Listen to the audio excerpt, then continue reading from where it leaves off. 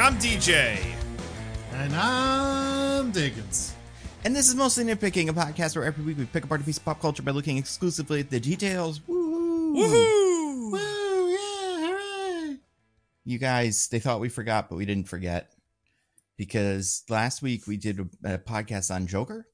Um, because that Mhm. was the week that Joker came out, and before that, I don't even remember something else. Megalopolis, probably. Megalopolis, baby. Yeah. Yeah. So this has been a lot of we've gotten a lot of releases this year. Um and a lot of them have been bad, so it's been pretty fun to do. But um we are in a certain month. Uh and even though this month does not currently feature a major release starring this actor, we're gonna go back to it and get the backlog of um what what was this called? What's this month? What's the long name that I always forget? The Hutch for Red October. N- Well, or is it is the hush the hutch for red Joshtober or something like that he- or the Hutch for Red Rocktober. Rocktober, yeah. Although I guess Um, this year it's the Hutch for Red Phrase Tober. Mm. Hmm. Yeah, the hutch for red whale whale tober, or um I was thinking maybe Hutch Me Up when September ends. oh that would be good Also a good option. Also a good option. or yeah yeah ah that is good Sep- but see but it's not then we would have to have done it in September right like Well, no, because September has ended, oh right and now we're hutched Yeah. up. now we're hutched up. Okay, yeah, that that works. So yeah, we're doing one of the Hutcherson movies. Uh, the, the one of the ones we actually I saw somebody in the Discord say we didn't name this one in our list last week, but one of the ones we haven't done yet. Um, and there's several, so you never know which one that is. Yeah, do we have a full list of debt? I mean, we have actual movie depth, but as far as like Josh Hutcherson movies, we talked Oh, about a couple of them that like were pretty good. Zathura, um, Vampire's Assistant, uh, Bridge to Terabithia. Uh, oh, right. This isn't even debt. This is just No, this isn't debt. This No, is this this, is is, just- well debt to the month. for Hutch like, debt to the month. Right. We're indebted to the month. That's that's yeah, we owe the month. As Um, as is typical for us, we're starting a theme month in the middle of the month. hmm obviously. And and maybe we'll do like one week of it, maybe two, but not that many because there's gonna be Venom and other stuff coming up soon. So. What are the other ones? I have a list of all of his movies. Oh yeah, Red Dawn, Epic. We talked about a bunch of these uh, that that could be done in the future. We'll see if we if we decide to. Um, but uh, bef- before that, we have this week's one, which we'll get to. If you're watching the podcast with the title, you can see the title is that one. Um, and you may be like, "Wait, didn't they do that one?" And it's like, "No, we skipped it. We went straight to the other one. So now we're going back." Um, we did two because it has the rock in it. And what I right. learned from this is that we missed nothing in terms of And- understanding that second one. except except they they tease the wrong sequel. Right at the end of the movie, Oh, they tease a sequel that doesn't happen, or like that. That's not the sequel that has happened that they tease, which is weird. Just like But at the is- end of two, they teased they teased a sequel that never happened at all. well, not yet. I mean, it took a while. Well, actually, was there time between one and two? More, more than like a couple of years? I think it was that long. Jo- uh, Okay. Josh Hutcherson was still a babby. Yeah. Well, the first one was 08, the second one was 2012, so four years. Okay. So if there, you know, maybe there's like a little time it takes between them for, for like the fan base to age and then have kids of their own and then become, you know, out of options enough to want to introduce their kids to this. And then they'll make a third one like Beetlejuice or something. Not that they made third Beetlejuice, but you know, Oh, they we get those a lot. Yeah, Beetlejuice, Beetlejuice, Beetlejuice. Mhm. It's Beetlejuice Beetlejuice made a ton of money. There's no way they're not making a third. it's so weird that the sequel to this movie that we're doing, the only carryover is Josh Hutcherson. it's not weird at all because he's the champ. He's But, like, like- a, a huge star that everyone loves. I, I guess is it, available. Yeah. Why do you think we do a whole theme month around him? Is it an true. elaborate bit about how he's not a very huge or popular actor and it's funny that we have a theme month about him? No. It's because the people love the Hutch. they do. hmm They do. And Us he's people- one of our, and we need to raise him up as as people because he is one of our short kings. He was one of our Hollywood short Oh, kings That's true. He is that. on full display in this movie. So you know, Well, he was a child, Nando. yeah. Well, it wasn't looking good. From from there, we were all ready. Like, get this guy one of those Tom Cruise shoe things that makes you look like a six foot tall person. The 'Cause trend lines gonna were work out. bad. Yeah. Um on that, you know, he's and he's doing great at, you know, Josh Hutcherson. He's he's got lots of stuff going for him. Maybe another beekeeper, who knows, another Five Nights at Freddy's. So sky's the limit. I mean, I assume he just has so much money that it doesn't matter. Like that, those Hunger Games movies must be paying dividends. Like, yeah. was the last? And they're making a new one. Uh, yeah. Oh, but he's got Uh two more coming up: The Long Home and Little Mouth. We'll see what those. yeah, are there's about. also something called to Big Long Mouth? No. Mmm. Let's see, what is it? Uh Tech billionaire, something something. I don't know. Yeah, It's a, you need IMDb Pro to see it for me. I, don't, because I can't Oh, look at it. gross. But Long Gone, he has something called Long Gone Heroes, where he's like a cool action star Okay. wi- alongside Andy Garcia and Frank Grillo and stuff. So it's Other good. huge stars. Yep, they've been in movies we've seen for sure. Andy Garcia was in Expendables, I think, right? It's like the bad guy of it or something. I You could have told you could tell me nearly anybody was in Expend Four Bulls, and I'd be like, probably, yeah. When are they going to get the hutch? That's what. Oh, they need. should get the Hutch. Well, he could That's be the bad guy because I, I, I think the Hutch would be a good Mm. villain in those movies. like He in could be- Beekeeper. The thing I can't believe they've never done in those movies, as far as I know, having not watched most of them, where he is like leads the hotshot new mercenary group, where Yeah. we're like, Mhm. time to retire, old men. It's time for the new hot mercenary guys. But then it turns out that he's secretly evil because young people are bad and old people are good. This is true. You see, this is that's kind of the plot of the third one, except that's not it. But there is that whole thing where it's like the young, hot, new Expendables. But then the movie just kind of forgets about that because they're pretty boring. And also, Antonio Banderas is part of it. So yeah, they need that, or they need the guy. He could be the tech guy who's like Expendables. Psh, we need AI to solve the problems of the modern age. So is. we're gonna get our Robo Spendables or something. We call them Terminator bots or something. Speaking of that, news of this week. A lot of news, I'm sure, especially probably some breaking as of when we're recording this from Comic Con. But the main news that everyone cares about, they're finally making a movie based on Electric State. You guys love Electric State? Electric State is my favorite piece of media. Yeah, Same. that is what it Same. is. And yeah, that- it's a. Media is a Mm-hmm. graphic novel. Uh, you're on the right track, I think. It's like a so from what I understand, not from what I understand, but I, it's like a visual novel or something where it's pictures of stuff, but there's no like narrative, and I don't think there's words. But it's like, ooh, the future. What if a retro future big big mess of a robot was covered with grass? So And, it's like, just like that a bunch cool? of concept art. Yeah, pretty much. Um, it was. It's not like. I mean, it's pretty popular in terms of you know to be one of these because they don't usually get. Like, oh no! I get, Cornelius- apparently Well, hold on. I'm getting two answers from I am Wikipedia. too. So wait, what is it? Huh? What are what are your Wikipedia is telling me answers? both graphic novel and illustrated novel. Yeah, My two favorite kinds of novels, right there. I don't know which one came first. I thought the visual novel. I thought the the uh, graphic novel was kind of recent, and the visual novel was the original. But I'm not sure about that now. Now I'm yeah, I'm questioning. But also, there's apparently an uh like a role playing thing you can do of Oh it now. yeah, this is the Tales from the Loop guy. Who's that? Uh, Steinman Stalenhag is a that character from this movie we just watched.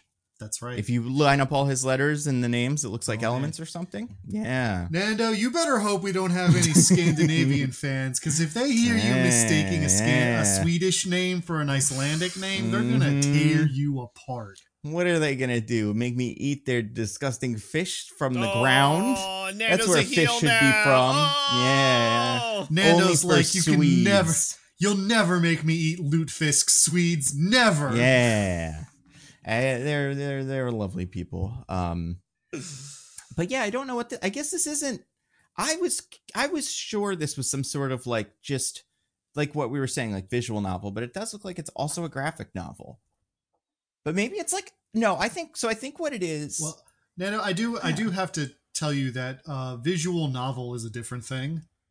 Um, What's that? visual That's novel is a video game where you read words while looking at pictures of sexy anime women. Oh, then what is what would you call this if it's just pictures, no words, but it does kind of tell a story? Is that also graphic novel? I mean, I would say graphic novel, honestly. Yeah. I guess so, yeah. Hmm. So yeah, that's what it is. Um and it's like looking at landscapes and think, thinking, wow, Wow. there used to be robots Imagine if there were here. robots, guys. Mm-hmm. Oh my god, imagine. Imagine well, you don't have to anymore because they made a, a movie. By they, I mean those those lovable Russos, uh, Joe and Anthony, I assume, uh, made the a movie of it, and it's apparently the even though it doesn't have words and stuff, there is, and it might have some words, but um, it like there is a narrative to the Electric State of a kid looking for something you know, uh, from the West Coast to the East Coast or something like that. So, um, seems like they're kind of adapting that into a movie for Netflix. Wow, which means, Everyone's favorite. yep, it comes out on March 14th. So happy, uh, is that Valentine's Pi Day. It's Pie Day. Pi- Yeah. Oh, because of robots. Yeah. Yeah. Exactly. Did you say is that Valentine's Day? Yeah, I did. All right, you have to pause the podcast for his gaff now because I got grilled last week for Bonaparte Napoleon. So take it away, Diggins. Well, DJ, I was in the middle of doing that, but because you're making such a big deal out of it, now I feel like I have to stop. Well, then I'll do it. Well- N- Nando, how could you possibly, how could you possibly think that Valentine's Day, Valentine's Day is March 14th? That's crazy. When is Valentine's Day? Obviously, it's February, but is it one of those holidays that doesn't have a date, or is, does it have a date? No, it's February 14th. this is a bit. No, it's it a is bit. February 14th. Okay. This must be I a couldn't bit. tell. But I mean, I, you know, it's one of those holidays like a person's birthday where like I don't know exactly. I like I might not know exactly when it is, but when you get into the month, you're like, oh right, that's what day that is, Tuesday or something. Nando, This is interesting because you're in a relationship. Nando has never remembered Valentine's Day in any year, in any relationship he's ever been in. How dare you? This last year, 2024. You guys know what I was doing on Valentine's Day. It's probably the same thing we were all doing on Valentine's Just Day. go to see Madame Web. Madame Web. Yeah, that's what I do on Valentine's Day. So Every maybe I'm person. confused. Maybe I'm confused, and maybe this is even true because maybe one of the release dates for Madame Web was originally March 14th, and then ended up coming out on Valentine's Day. And in my head, I went Madame Web Day, and then in my head, I was like, I saw that on Valentine's Day. It's very That noble must be of March you. 14th. Yeah, I know. I went by myself too. you- I was gonna say, I believe you said that you got your partner the present of not having to see it Yeah. I don't think she's seen it yet either, even though I've said you should maybe watch it because it's kind of funny, but not, uh, yeah, no, there's no time. Uh, and there won't be because the Electric State is going to be the next big Madame Web of next year, plus a month uh, in March 14th. Well, you say Um, the next big Madame Web, Nando, but we've already determined that Madame Web isn't even close to the worst movie of this year anymore. Yeah, well, that's that's good for this movie then, and especially since it's a Netflix movie, the bar's pretty low, so I think it's probably going to do okay. It's got all of our favorite stars. Atlas? What do we think? I I already think it's better than Atlas. I'm I'm Atlas was so Hmm. boring. Interesting. Because it has Mr. Peanut in it. Yeah, it has Mr. Peanut and like um Ke Huy Quan and like a silly wig and stuff.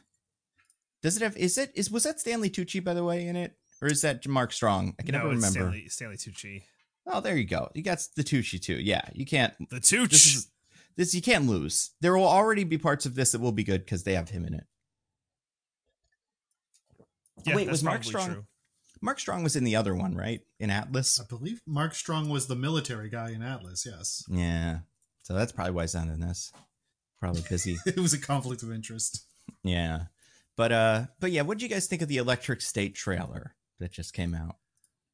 Um, I I sure did think that boy, this will probably turn out to be not as bad as the Gray Man. Maybe we can hope. I think a lot fewer cops are going to die in this one, which automatically makes it worse. Hmm. But what if they're like robot cops? Like drone cops getting getting swatted by a big cat monster like robot thing. Does that count for you? Hmm. Do they have souls? Can a robot cop have a soul? Well, Hmm. it's not no, but not because they're robots, because they're cops. yeah, ex- exactly. So then it's like, what? Yeah, what? Uh, how many? How many RoboCops getting their heads smushed by the big Mister Peanut is enough to make it? Uh, If they're identified, if they're robot cops, then I'm okay. Then like I guess that would count. That would count. hmm.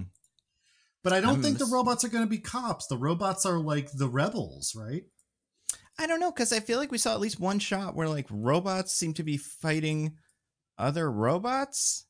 Okay, Hmm, so there's that one clip that because I have it on my on the computer now where like a big giant one is getting dragged to the ground in the middle of like a pool. Like there's some water, not like a like a pool, like the pool like the one by the, like the Lincoln Memorial. Um and there's a lot of little robots that seem to be doing the grabbing. And they look like humanoid, but there's one that passes by the camera and I don't think that's a person. Well, there, there's because there's good robots and bad robots, right? Is that what we're That- led to right. believe? A few bad robots, you know, but mostly good robots.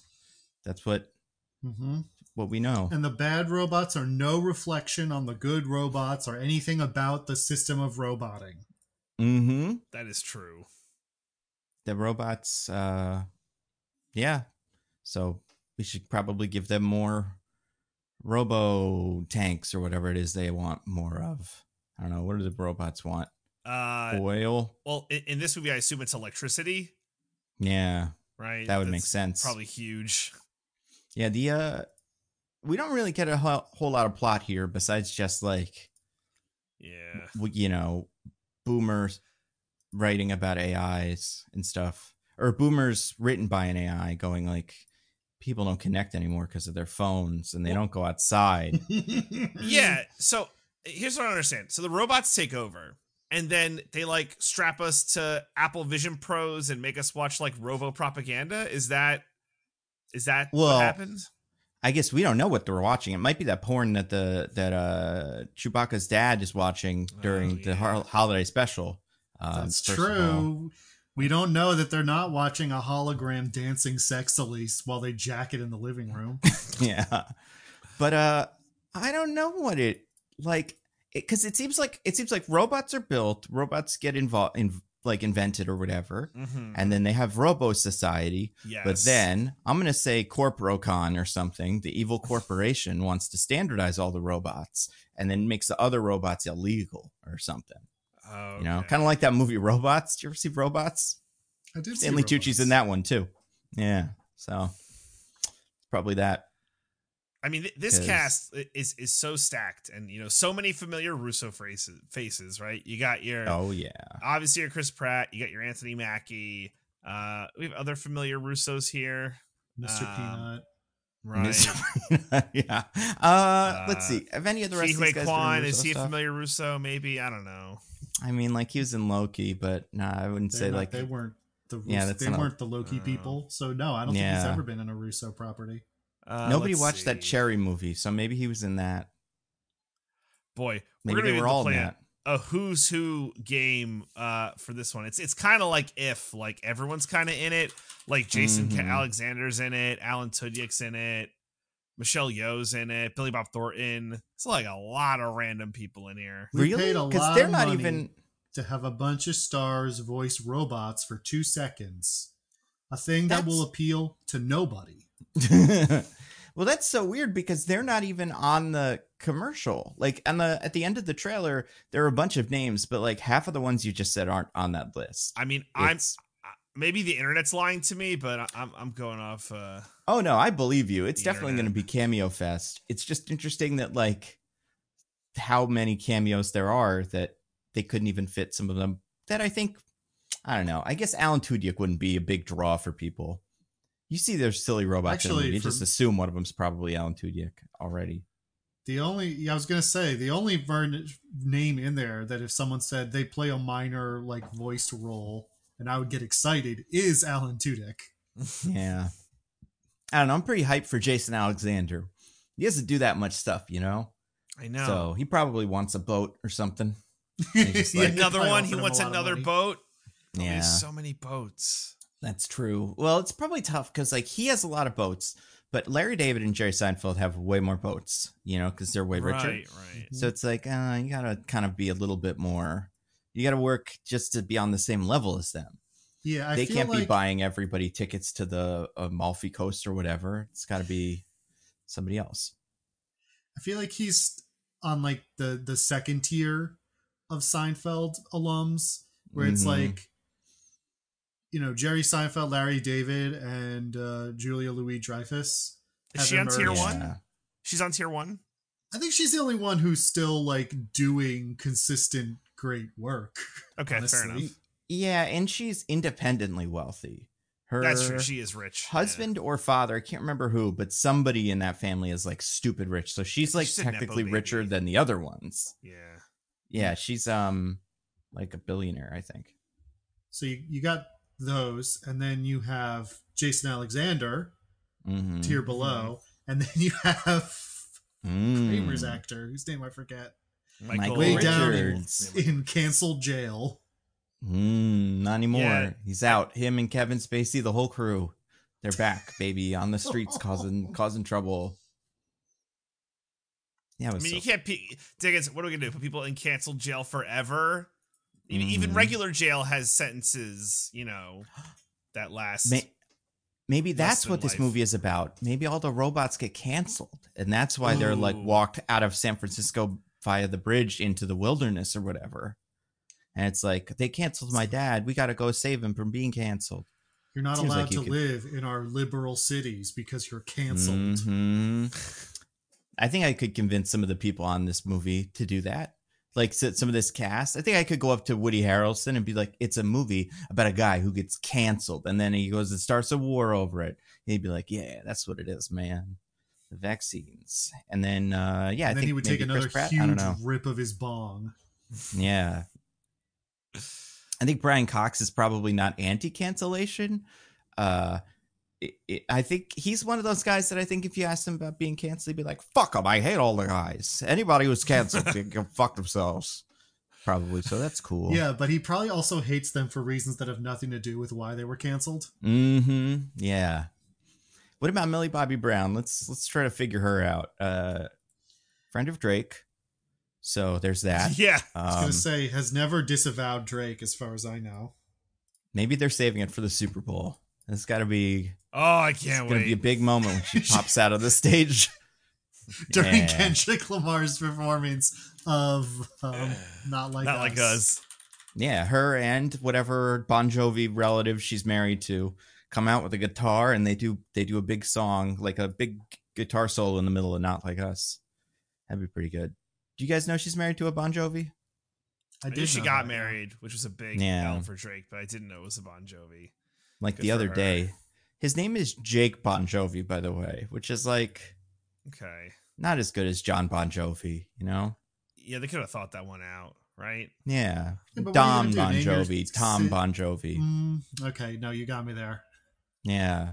But also, uh maybe he was trying to be sabotaged by his dad. It's like no one will ever be the coolest Bon Jovi. Maybe if you have maybe Bon Jovi name. was like, I can't risk any of my children becoming more popular than me. Yeah. How's uh did you guys know how Bon Jovi is spelled? It's J O N B O N J O V I. Yeah, Yeah, kind of. But then that's like kind of an Th- that's his I- I don't stage even know. name. I believe Yeah. the actual last name that he has is spelled more Italianly. Yeah, I'd never seen it spelled out before, but it's Bon Jovi kind of. B O N G I O V I. So one just one word. Good for him. Yeah. Yeah, Yeah. fixed his name. he's another he's another New Jersey boy. He is. It's one of our favorites too. Like I think between him and Springsteen, they could be the main ambassadors for the state. I think, as far as Was it was are it him or. Springsteen who declined having one of the Parkway exit rest stops named after them? I think it was him, but I can't Yeah, remember this. that for sure. sounds right. Oh no, they I mean- do have one. You know, yeah. So it would have been Springsteen, right? Yeah, that Yeah. makes sense because John Bon Jovi is like I feel like New Jersey famous, but Springsteen is like internationally famous, right? Like he, Mhm. like off the top of my head. Uh, okay, so we have a Whitney Houston one. Um, although she's pretty super famous, but maybe she couldn't say no. And I mean that really? literally. Why couldn't she say no, DJ? she did. died maybe, but maybe Yeah. this was before she died. I don't know. She died I when we don't in, think so. I in think college, it's fairly right? recent. I think that one's Yeah. by me. Um, gosh, I I think I they mean, renamed it. But there was a Woodrow Wilson one at one point, but I think they renamed it. There it. still is. Is Didn't there still uh, one? Tony Okay. Soprano get one? The actor James Oh, Gandolfini, James I think, has one now. Yeah, Okay, yeah, that makes sense. I'm pretty sure he's got one. Uh, oh, who else? Um, that's it. That's all of them. It's really it's a mess. You know, you get on the Yeah. turnpike, you get on the parkway, and you just have to hold your pee for, you know, an hour because there's only three rest stops. All right, Whitney Houston, I- Bon Jovi, Woodrow Wilson. Oh, and then James Gandolfini. So yeah, I got him. You guys want you guys want to hear him? yeah. So we have, Let's let's do it. we have the Clara Barton, Oh, Gr- Grover Cleveland, yeah. John Fenwick, Okay. Joyce- I don't know who that is. Joyce Kilmer. Val Uh, Kilmer's wife. Mm. Maybe I don't know. Um, Richard Stockton. You know, Is that not the basketball player? This is Nope. a different one. Thomas Edison, Sure. Yeah. Vince. Lombardi, Mm. Walt Whitman, Oh. uh, Woodrow Yeah. Wilson, she mentioned, uh, Alexander Hamilton, Oh, from Hamilton. James Fenimore Cooper, Mm. John Bon Jovi, which is the Bon Jovi service area. It's the Bon Jovi service area. So it could be for Us. any of the Bon Jovi. That's a good could be point. for could be for Millie Bobby Brown now. Yeah. She could inherit it. You should be able to eat for free if it's yours, too. I didn't bet you can. But just be able to walk up to one of the McDonald's and take a $15 Big Mac and just right off the rack. I'm not paying. Don't you see my name on the door? Fuck you, he says. He could get away with it because he's Bon Jovi. I feel like Bon Jovi could do that if he really wanted to. Absolutely. The only problem is I don't know if everybody I don't know if a 25 year old kid working at the McDonald's would be able to recognize Bon Jovi from just his face. I think Bruce That's could get away with it, but I don't know about Bon Jovi. I don't know that I could recognize Bon Jovi just from his Oh, face. come on. This is I think you scraggly-ass could. hair I I, right. I also didn't think I could maybe, but then I looked at a picture and I was like, oh yeah, that's Bon Jovi. Um, he is older now, so there's that. But yeah, Yeah, I think Bruce You'd be actually Springsteen has like easy it is. and maybe you've seen him. Maybe you know. Maybe he's been in the background of your life this whole time, and you haven't even noticed. Maybe I he's in the room with you right close now. to where he lives. yeah. I don't know. Uh, I'm just gonna round out the list here. Molly Pitcher, Oh What- yeah, that yeah. Like the remember. Inn. exactly. Uh, Whitney Houston, like we mentioned. Uh, James to a Gandolfini, we mentioned. Uh, uh, the only ones we didn't mention: uh, Frank Sinatra and Judy Blume. Frank Hmm. Sinatra. Where is his? Is his by like? His is They're like way related South to- Jersey. It's not Like- related Yeah. to where they lived or That's were, were crazy. connected to at all. They're just like random. Yeah, his is like Atlantic County, so like way, way, way South Jersey. We should shuffle them. Wait, Atlanta County? Oh, you said Atlantic, Atlantic, County. Atlantic, okay, yes. it's like Uh, wow, that's really South Jersey, Atlantic County. Um, it's the most inside Jersey thing we've ever done. Yeah. this is like, Pretty that's, much. That's a lie. Remember the Union episode? oh yeah, Mm, yeah, so we talked about Jersey a lot. It seems like this movie, this Electric State, takes place on the West Coast because of that one time where they show the Space Needle and stuff. Um, which is which I think makes they're traveling west, so I don't know where they start from. Mm. It does seem like they get they travel by way of being picked up by a big robot, and he just kind of runs. So that's pretty. That can't be that fast. It's gonna be a pretty slow, slow trip. So are we excited for this movie or uh are we Not really. horrified? Electric You State. know, we'll see. I'm excited to do a podcast about it because it does. Yeah, it'll be a fun podcast. Yeah, yeah. it's it's got a very like it's it's I I don't hate the Russos or anything like that. Um I do think they seem to have developed the uh, Marvel kind of brown and gray and beige aesthetic and like really turn that into the the main thing. Uh, and it looks like they brought that here, but also it's in a world where everything looks like that on purpose. So it's like this is perfect for them. you know? How many? I, I mean, I, I guess I shouldn't assume how good or bad this movie will be, but how more of these movies do they get before it's like, you know what? They're not good. They're just not good. Netflix? Infinite. Yeah, I don't They know. As many as they want. Do you, uh, well, because they keep raising the price, and I feel like there's even a threat they're going to do it again this year. So Mm. I think the question is, how many times do they make these before we go? Like, obviously, they're just because it's at a certain point, it doesn't feel like it's like you subscribing to a subscription service as much as you giving someone money to make movies, kind of like, which is what it is But if it's like, don't make that with my extra twenty dollars, like, yeah, I feel like I don't know. I guess like nobody watches the movies though. It's all Squid Game and shit, so they'll probably be fine. But It's all Squid Game and the real Squid Game and Mr. Beast's Squid Game. mm, no, that one was on Amazon, and also we'll probably never see it because of lawsuits or something. So, Yeah, he almost killed three Did guys. it never or come out? I don't so he did a. To be fair, he did a Squid Game video that he did do, but there's a new show on Amazon that's like the Mr. Beast show of Mr. Beast games, and uh, there were lots of reports from set that were not good. Uh, so I don't know if we'll ever Yeah. see it. I, I heard Mr. Beast has been canceled.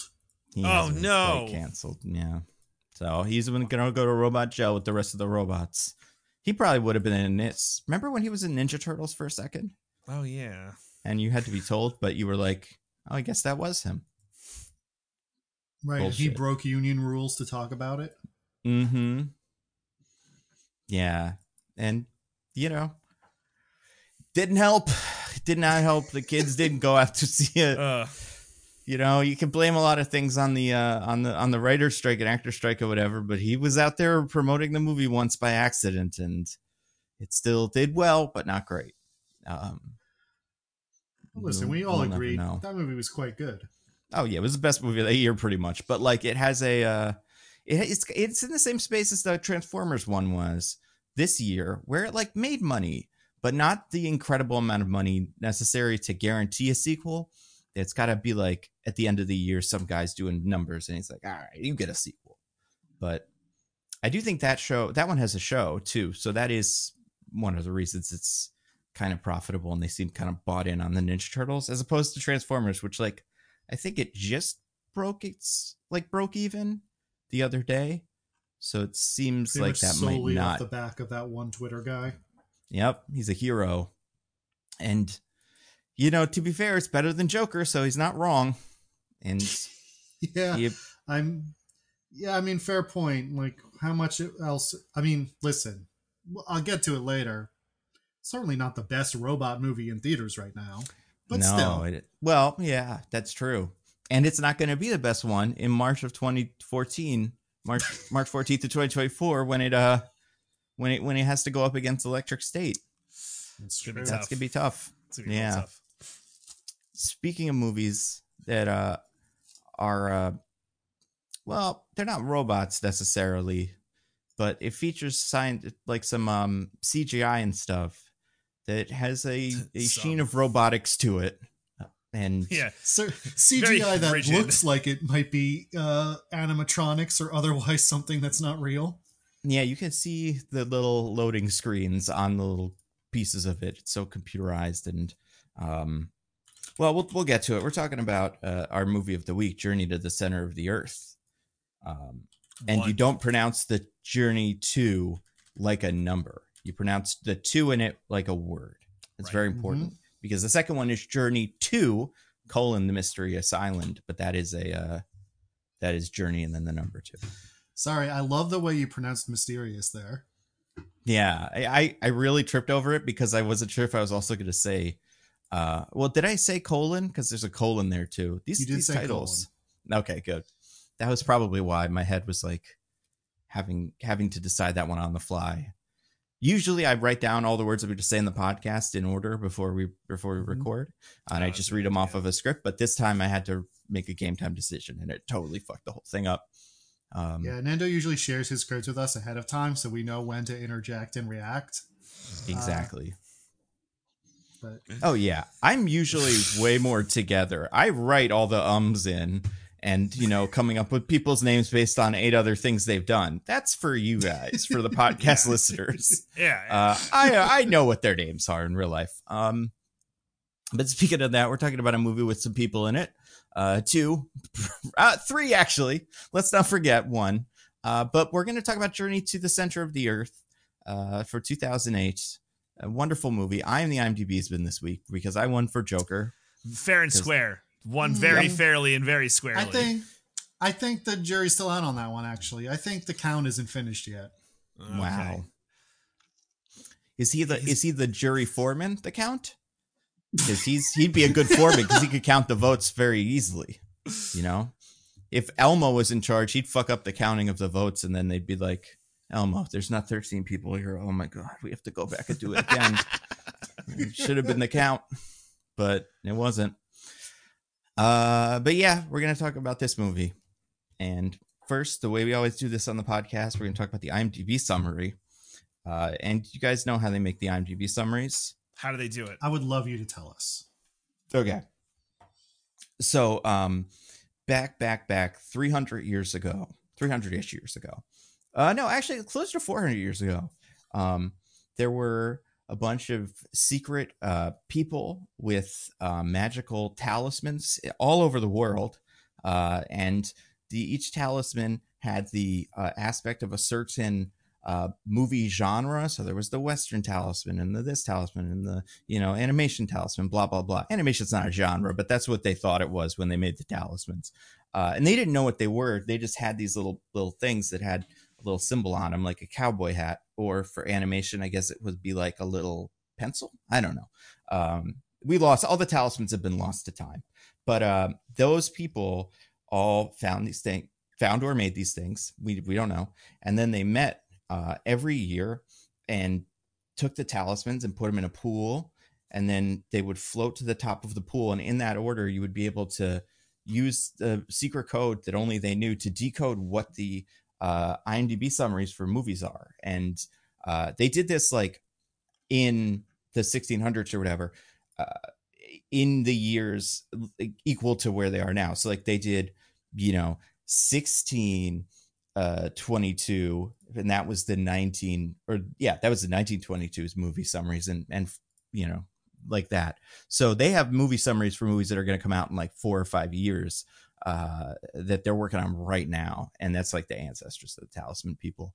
Um and whenever a new genre shows up like uh you know disney remake or something uh the talisman has to be created in a little little box. So that was pretty cool. Probably a new talisman for this movie because this is one of those first 3D movies. I don't know if you guys caught this from watching it, but uh, that was a that was an innovation that was probably Oh. invented for this movie. Sure was. What? Um, this is a 3D movie? Yeah, yeah. You'll never believe it. It had that one staple of a 3D movie, which is a character having a yo-yo for a second, and it's like, wow, you. Because Spy Kids also had that. Um, speaking of other 3D movies, I remember that we did that one on the podcast. Just real quick before I forget, can you guys recall the most egregious like 3D portion of this movie? In my opinion, that I'm like, wow, that's way too much. It's very early in the movie. Very early. I was gonna say there's so many to pick from. I don't know exactly which one you're referring to. I guess I mean, for me, it really was the yo-yo. But if there was something else, I I know you're like, it's something that he has in his office, right, or something it- like that. it- it's close. Like for, for me, it's um it's when Seth Meyers is in the lab and he's like poking around. And he takes his like measuring tape, he's measuring something. Yeah, And he turns around with it and like whoosh, and like the Mhm. measuring tape is like 90% of the screen is just coming out this like weird aspect ratio. It's so wild. Can you- Can you believe it? They like you would go to you would be at home and you'd be like, I wish I could live in a fantasy world of magic and monsters and shit. And then the first thing that comes up is a fucking measuring tape. Woo! It's like crazy. they've really they pushed the limits on this one. Measuring tape was probably really easy for this too because they knew all the Yeah. numbers for it. You know, when they did it in real life, they could figure out exactly how far the measuring tape was from stuff. So Pretty good. Oh man. Pretty That's why of they had to do it first. They had to like really nail down the Yeah. technology with the measuring tape before they could do it with anything else. Yeah, that was how they set the cameras every day. They took a measuring tape and just winged it around. And then at the end of the thing, they were like, you know what, they could we could use in this because we only have fifty, uh, you know, little gags here. We need another one. They they put one of the measuring tapes in, and uh, that was going to be a, obviously a trivia because that is the trivia here. But Oh, we'll have to find another one. well. All right. and first, well, we'll have to do the IMDb summary because maybe we won't even need it. Um, I will say the summary IMDb summary for this movie is okay. Um, it's like I think it's old enough. It's before the AI started getting involved and fucking these all up. Uh, that I think it's you know largely the story of the movie. Uh, it's not super long, so I wouldn't get go super long with it. Um, yeah, and then uh, who gets to go first? Diggins gets the pick. Oh, Diggins gets a pick. As the one who Beauty. was unjustly, uh, his victory was unjustly stolen from him. I do some get to people's choose opinions. first. In some people's opinions. Mhm. Yeah, some people, some you know, uh, well, let's say most people. I might say nearly everyone, but you know, whatever, it's fine. Not me. Um, DJ, why don't you go first? Boo. But yeah, that makes sense. Um, okay. Um a a scientist and his nephew go on an unlikely journey to the center of the earth to f- yeah to find his long lost brother at the end. yeah that's all i got Okay. Go straight forward Diggins, what about you? Uh, following clues left by his late brother, a scientist and his nephew uh, go on a fantastical journey uh, to uh, the uh, to the same go on a fantastical journey uh, to the center of the earth, the same one as in Jules Verne's novel. Oh, good, good. I like Mm. that. That's give it to him if Interesting it's in there. detail. Give it It's to him not. if he's in there. No, no, no. I would say you guys pretty much got them the same. Um, We always do. There was only really one detail that was even a little bit different, and uh, yeah, I think you, I think you guys, each of you had like one or two words that you got more right than the other one. Um, and there's not really anything to guess except um, I do think it's interesting. Neither of you mentioned the mountain guide who was named in the in the summary. I was thinking, but yeah, But- I should have done that. So I assumed that uh, an IMDb summary. Well, you said the talisman people are from 400 years ago, so I assume they didn't really care about women. Mm, they don't, but mountain guides are very important to them because that is how they traversed our, you know, our Earth, which was all connected. You see, uh, before the continents all split up 400 400 years, years ago. ago? Right, Yep, obviously. yep. Things things changed pretty quickly uh, because of the uh, talismans, and they don't teach you that in history class or tectonic Mhm. class or whatever the fuck, wherever you would learn this in, in tectonic school. I love tectonic But, um, class. It's my favorite yeah, one, for being honest. Tectonic. Whenever I mean, you're it's the teaching best your one. college class that appears to consist entirely of high schoolers. Nobody gives a shit about that class, man. That is a that is a pass fail tectonic class, and I'm who would be surprised, right? If you saw that teacher's house, you'd be like, he doesn't grade these tests. He can barely tie his shoes. Like this guy is a mess. Um, but yeah, no. So here's the here's the summary. I'll give it to you. Uh, on a quest to find out what happened to his missing brother, a scientist, his nephew, and their mountain guide discover a fantastic and dangerous lost world in the center of the earth. So uh, you were both about the same. I'd say Diggins was, or DJ's was a little bit better, uh, just because it didn't have the thing that Diggins put at the end of his, but uh, know, they're about the same. Um, so we're gonna go to trivia. Very excited about this. Huzzah! Yeah. Um now uh I you know, this is it's IMDb trivia. Anybody can add it. This might be a big lie, but I think it's kind of funny. So I'm going to do it. Uh Okay. and it seems right. Like I think this is correct. Um uh Oh, wait, this is so much better. Okay, okay, okay. This is this is great and this is actually probably true. Okay. So about 17 minutes into the movie, according to this trivia, uh, Hannah tells Trevor that she will charge him how much money an hour to guide him through the whole thing. Uh, Hannah Like- being the mountain guide and Trevor being uh, Brendan Fraser's character. Uh, we'll start with Diggins, and this is a multi-part question, but let's do this part first. How much is she charging him? So I actually took this as one of my notes, so I know Okay. the answer Ah. exactly. She That's says okay. five thousand krona. That's right. Very good. Uh, at the time of the film's release, how much was that in USD? Ooh, okay. Anybody want to guess? I also looked this up because I was curious. on. Okay. I What is believe, uh, from what I looked up, uh, and I don't know if it was today's dollars or then dollars, so it might be slightly different, but it's about thirty-six dollars. So that's probably then's dollars, because or th- today's dollars, because then it was more. Um, Ooh. not that much more though. Well, like a little bit more, but not like an astronomical. It was sixty-five dollars US. Okay. Um, this is the question. This is the final question, though. If he was to pay in rolls of quarters, as his nephew suggested, that would be approximately how many rolls of quarters per hour? That is the that is the trivia question that I think is so fun. How here. many Um, rolls of quarters per hour? That's right. And are we taking the 36 number at like face value? Sixty-five dollars USD, Or 60, 65? So, okay. How many yeah. rolls of quarters? five thousand krona, and then yeah, the time of film's release. Uh, How many Diggins, ro- okay. do you want to start?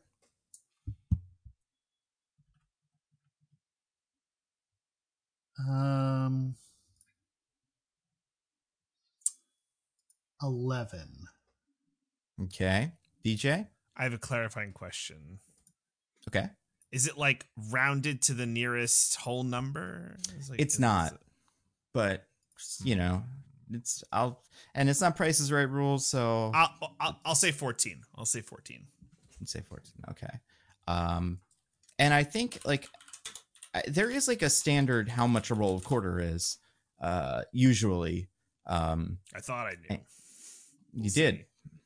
uh and uh the the person who is the most correct is diggins uh because a traditional roll of quarters is ten dollars it's uh, 10. which means it would be Fuck, six point five. five rolls of quarters per hour. Would be how many quarters I thought it was. Get. I did some quick estimation and thought it was about six, but Mm. I was closer, and that's what matters. Yep, you were closer. So I'm gonna say Diggins, you win it. Uh, Wins that yeah. question or the whole kit and caboodle? I'm gonna say the whole thing because I think he, I think he got both of them. because he did know. his research. The only other question I was going to ask, which I'll ask anyway, and if right. DJ, if you can manage to get this heads up, then you can maybe tie it or something, but I'll- you I'll, won't. I'll, do, I'll do the golden ball. Sure, let's go. According to this, according to this uh, IMDb page, the dinosaur saliva spoilers. Uh, there's dinosaur saliva in this, uh, which I, I guess I would consider a spoiler because it's not in the poster or anything like that. That's true. Uh, like I was kind of surprised when in I the- saw these it's guys in the show up. trailer. It's in Oh, the sure, yeah. 150 year old book, so Mm. Well, I wonder if this is in the book because the dinosaur saliva in this movie was made up of a mixture of three things. Okay. Uh, DJ, can you give me those three things? I, okay, three things. I'm gonna say, um, p- pudding. Uh, am I already wrong? Uh, just keep going. I'll tell you. Fine. when- Uh, pudding, uh, silly putty, and uh, Sprite. way. Diggins, do you want to take a shot at it? Um, I'm gonna go with vinegar, baby oil, and Baby oil. Oh, you Mm, did, did you look at it? It is. It I- has got a very oily quality. That's what uh, R. Kelly should have said he was doing. No, P No. Diddy. That's what P Diddy should have said he was doing. Wrong sex criminal. Sorry, guys. Yeah. Uh, Mixing up my sex criminals. baby oil, and water. Okay. Well, technically, I will. I do think DJ got closer, but not that much closer. I mean, he got more close. He definitely was closer, but not so close that I'm like that. Actually, deserves a win. Right. I think uh, it is a that's mixture of hair gel, fine. peat moss, Oh. and Seven Up. So you said Sprite, and that's not Seven Up. You know, that's technically a different thing. I can't. uh Those are different. Those are Oh, different yeah. products. They're not you know? even technically the same thing. So, uh, yeah. But I think hair gel is the one that I can see. I don't really know what peat moss looks like. I would assume it You know has like a, moss? Like yeah, right. It's So like, like, that, but more peat. and what is it? Is it dark? bastard. Like, right? It's like a brownish color, I would assume. And I kind of remember the saliva looking more clear, but maybe there wasn't that much peat moss in it. Um, I will say I don't that know. the first time it comes down, I thought it was poop. I'm like, did you just get Oh, pooped really? on? Yeah, it's because it is a little brownish. So I'm telling you, I'm, Oh, I'm- I'm okay. telling you, the, the first one, it's like, oh, I think. But it's so on. viscous. yeah. Well, you know, Oh. depends on what he's eating, I guess. What do they got down there? You know, White Castle, maybe, maybe Oh, ugh. Could comes be. out comes out Well, viscous. well, we well. all know that. Uh, but yeah, I'm gonna say Diggins wins uh, because Okay. DJ, you said Seven Up or Sprite instead of Seven Up. Yeah, it's if you said Seven Up, I probably would have given it to you. Um, That's fair. That's fair. But uh, but yeah, I accept so this. uh, Diggins, as the winner of the IMDb summary this week, you get to say first what you think of Journey to the Center of the Earth. Wow, guys. Journey to the center of the earth. Hmm. You know, we did Journey 2 with The Mm. Rock. He has the Thunder Cookie. And Oh yeah, a lot of other stuff happened in that movie. Michael Caine was Um, there, Michael and he Caine fucking hated The Rock. That was so fun. uh, Journey 1 with Brendan Fraser and Anita Briem, And still Josh Hutcherson.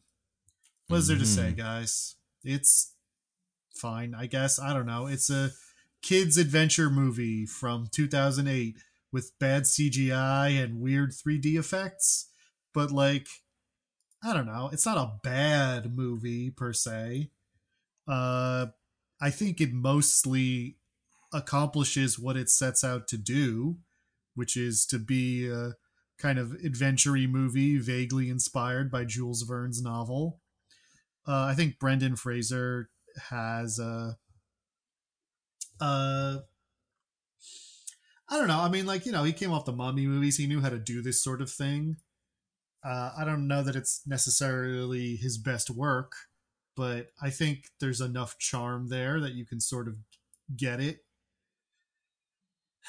Yeah, so basically, I mean, I didn't like it very much because I'm not a child from 2008, but if I had watched it as a child in 2008, I probably would have had a good time. So it's hard for me to be like upset about not liking it. You know what I mean? Hmm. I I honestly I just don't have a lot to say. It's fine. It's a totally fine movie that's not really for me, but isn't trying to be. Uh, what about you, DJ? What did you think? Yeah, I, I think you pretty much nailed it. You know, I, I I will say, given given the context of the mostly nitpicking cinematic universe, you know, we've been trudging through a lot of shit lately, and I I don't know what it is, and and it's probably just me, but I kind of like Brendan Fraser in this movie. Like, I I I think his "Arrs!" I'm like, ah, you Brendan Mm. Fraser, you funny guy with your weird yelping that you just can't get away from in your action movies, and like the Hutch is the Hutch. I, honestly pretty good child actor. Doesn't come off like super annoying, but maybe it's because like I know him and I have that familiarity. But um, I didn't hate him. Because you've seen Five Nights at Freddy's, and you're like, Mhm. well, I know where this is going, so like, I- I'm Exactly, invested right? in the It's- beginning of the journey. it can only And- be good. You're probably like caught up in the spirit of the season, the same way that like if you saw a Christmas song or listened to a Christmas song in like you know March or something, you'd be like, ugh.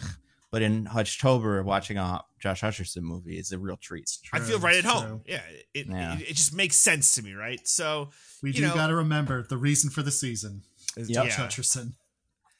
and you know Seth Meyers is in about two and a half minutes. Isn't he fun? Isn't he fun? This Mhm. big old. Tape I was measure. surprised to see him. Yeah, me too.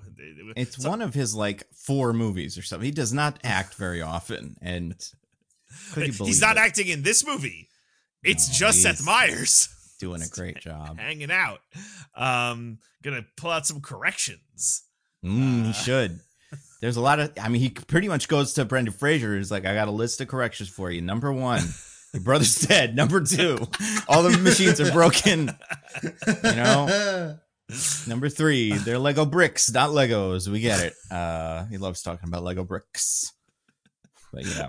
um so, so you know all, all, that being said i i think it's a yeah average fine movie probably good for the kids it's it's you know but but for for me you know for, for what we've been through breath of fresh air just breath of fresh air it's you know it's kind of funny when they're flying plummeting to the earth in half of a dino skull Oh you know God. it's funny when uh, uh, Brendan Fraser uh, no look backhands like a big old uh, uh, Venus flytrap, like oh man, yeah.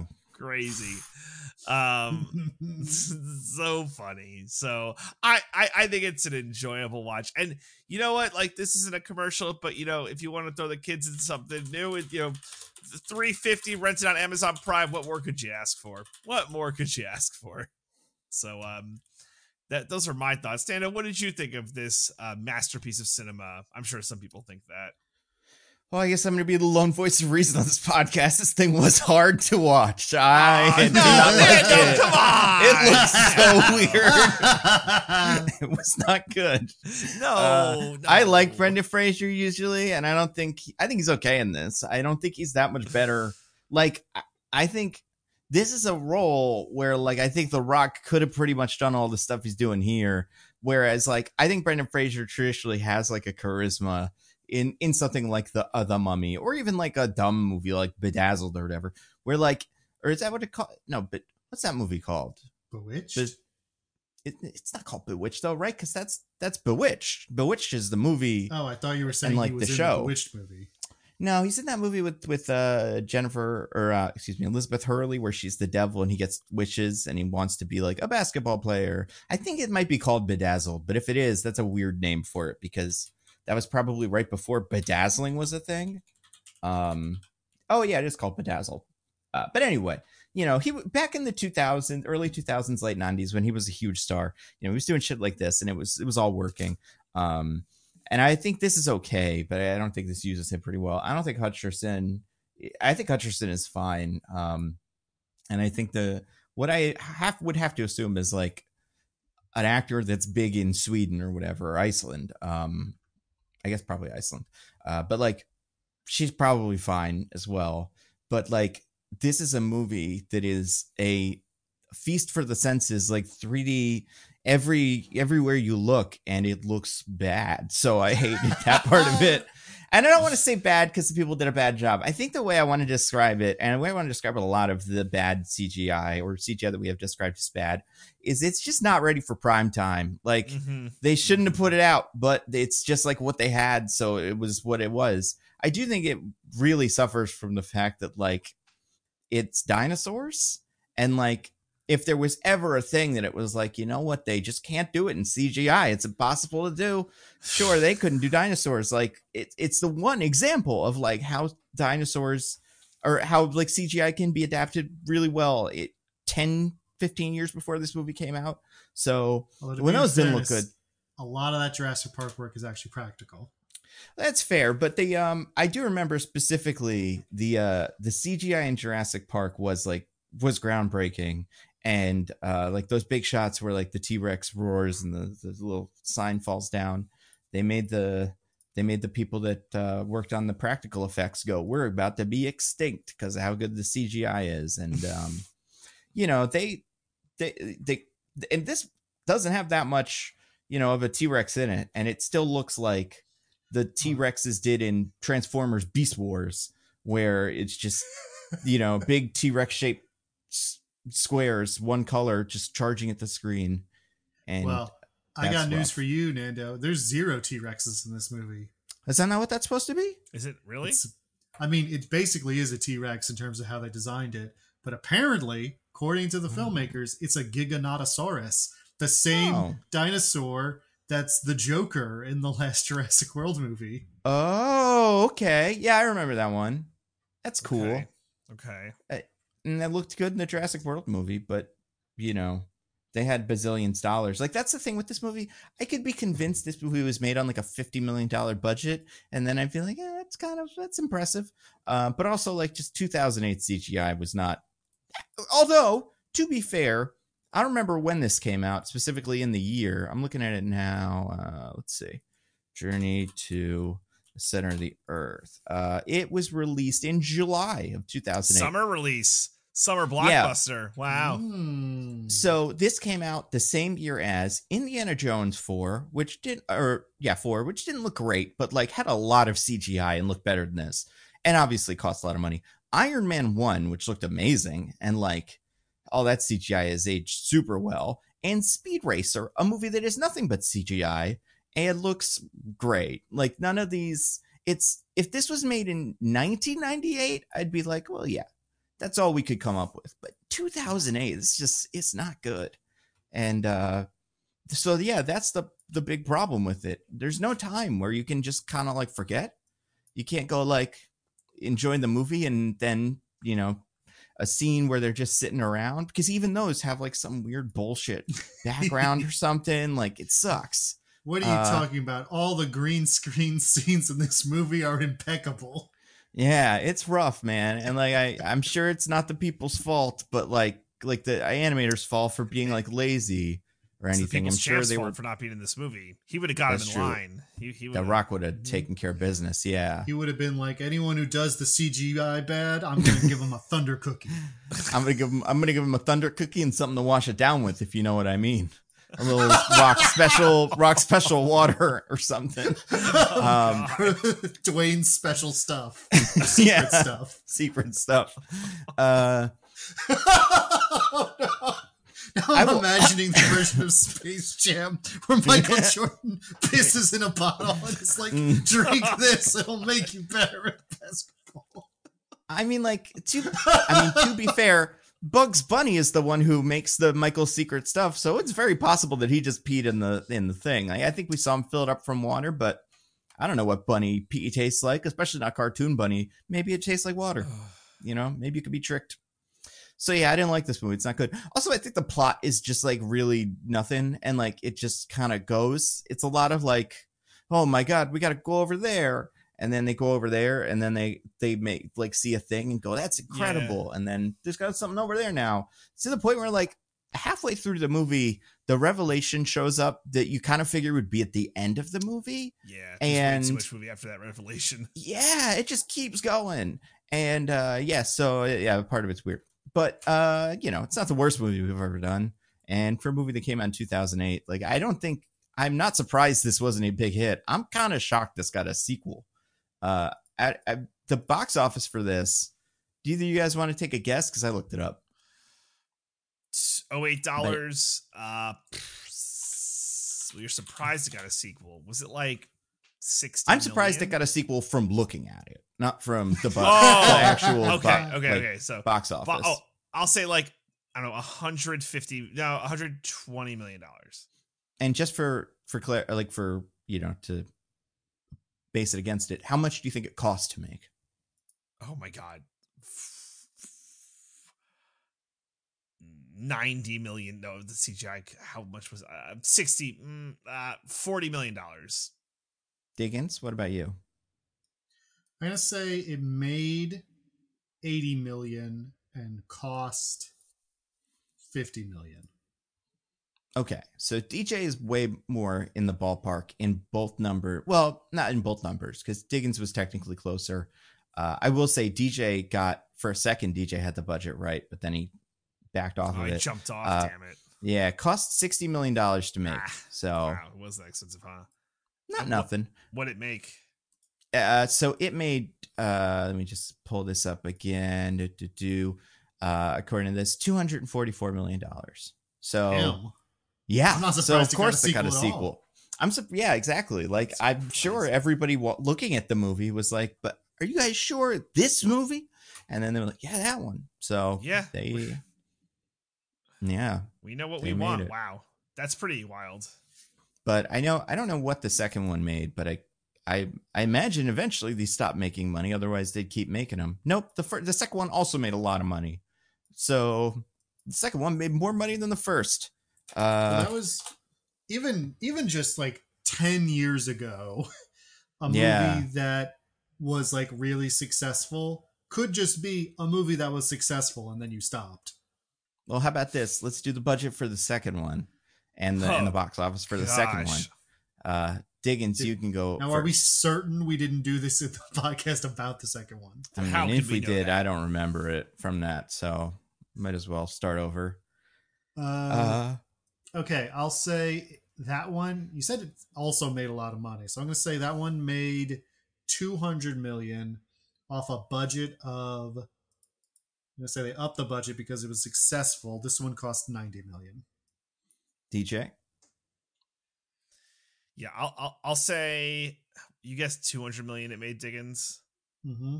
I'll be interesting and say it made 225 million and it cost 110 to make. Okay, so you're both kind of in the ballpark on the budget. It cost 80 million to make, so Diggins was closer. Uh, and you're both way off on the box office, 335 million dollars. God damn. I'm shocked they haven't dug this thing out of mothballs for three. Like Seriously though. they have Well, made now- sequels to mo- movies that made way less money. Um, Would it now Since be Josh Hutcherson is an adult and his Yeah, nephew? he takes over. or whatever? Yeah. Well, be, yeah, be the three of them. It would be either The Rock, Hutcherson, and then this new third generation, or Fraser, Hutcherson, third generation. Do we know why Brendan Fraser didn't come back for the second one? So I know he got a bad injury when filming The Mummy 3, which I think they made in about 2010. Um, okay. and that's part of why he took a real big break from acting.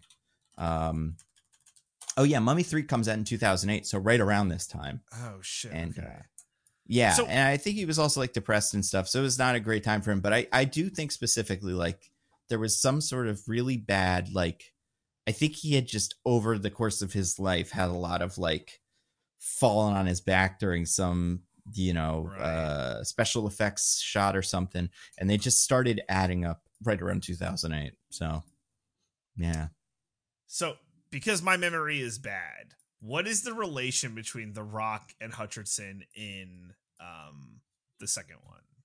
Stepdad. stepfather yeah Stepdad. Okay. Right. much like he's right. uh because this was his this was the days when you know like tooth fairy and this the rock was the Yeah. was the stepdad who the kids didn't like I mean, because they were too cool for school we so we see the father very, very, very briefly at the beginning of this movie. Yeah Um, it right. So I mean, from the mom's perspective, huge upgrade. Oh, huge yeah. upgrade, like incredible. Well, now you say that, and like maybe The Rock is a more attractive man. You know, it's it, you know it depends on your individual tastes. But we'll say The Rock's an attractive man. Yeah, I, I don't yeah, think yeah. that's controversial to say. But you do got to deal with all the piss bottles, that's true and like you have to be making him seven pounds of salmon every day or whatever, or cod. Yeah, that's mm, whatever he cod eats. yeah that's that's that is a big problem Pussy wakes up really early you know with his stupid app It's that rock nobody clock. can have yeah. anymore. The rock clock wakes you up at like 4 a.m. with some sort of like little virtue about the hard work and ethics of something. So, you know, this is, about, about hustle and grind. yeah, I would say, I mean, for me, looking at these two men without knowing anything about who The Rock actually is, like just watching this movie, this guy is described as the greatest dad that ever lived, according to everybody. And like, oh, he was the best brother and stuff. So maybe he just was cool as hell. I don't know. But again, The I Rock- mean, like, if you didn't have like bad memories of a loved one, then I feel like after they die, it's all like, man, they were amazing. They were the, you know, like Yeah. as long as your relationship was good, you're not going to say anything bad about them. It's true. and compared to Brendan Fraser, he was probably like pretty good because he didn't have a pile of clothes every two feet in his apartment. So he really seemed like he had it together. And uh and in 2008, you know, the standard just wasn't as high. Remember in 2008 ish, uh, the term metrosexual. Remember that? Kinda.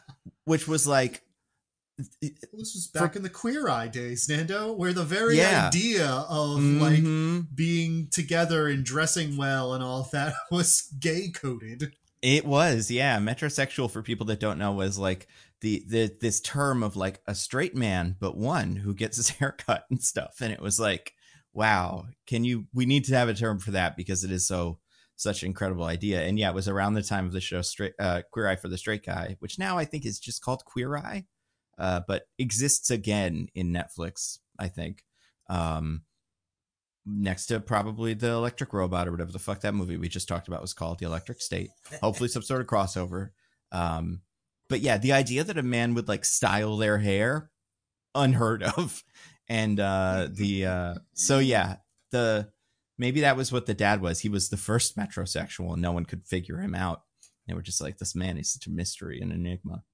Because Brendan Fraser, there's points late in the movie where he's been under the earth for, I guess, an hour or however long this whole movie takes. Like, I don't know. Did they like go to sleep during it?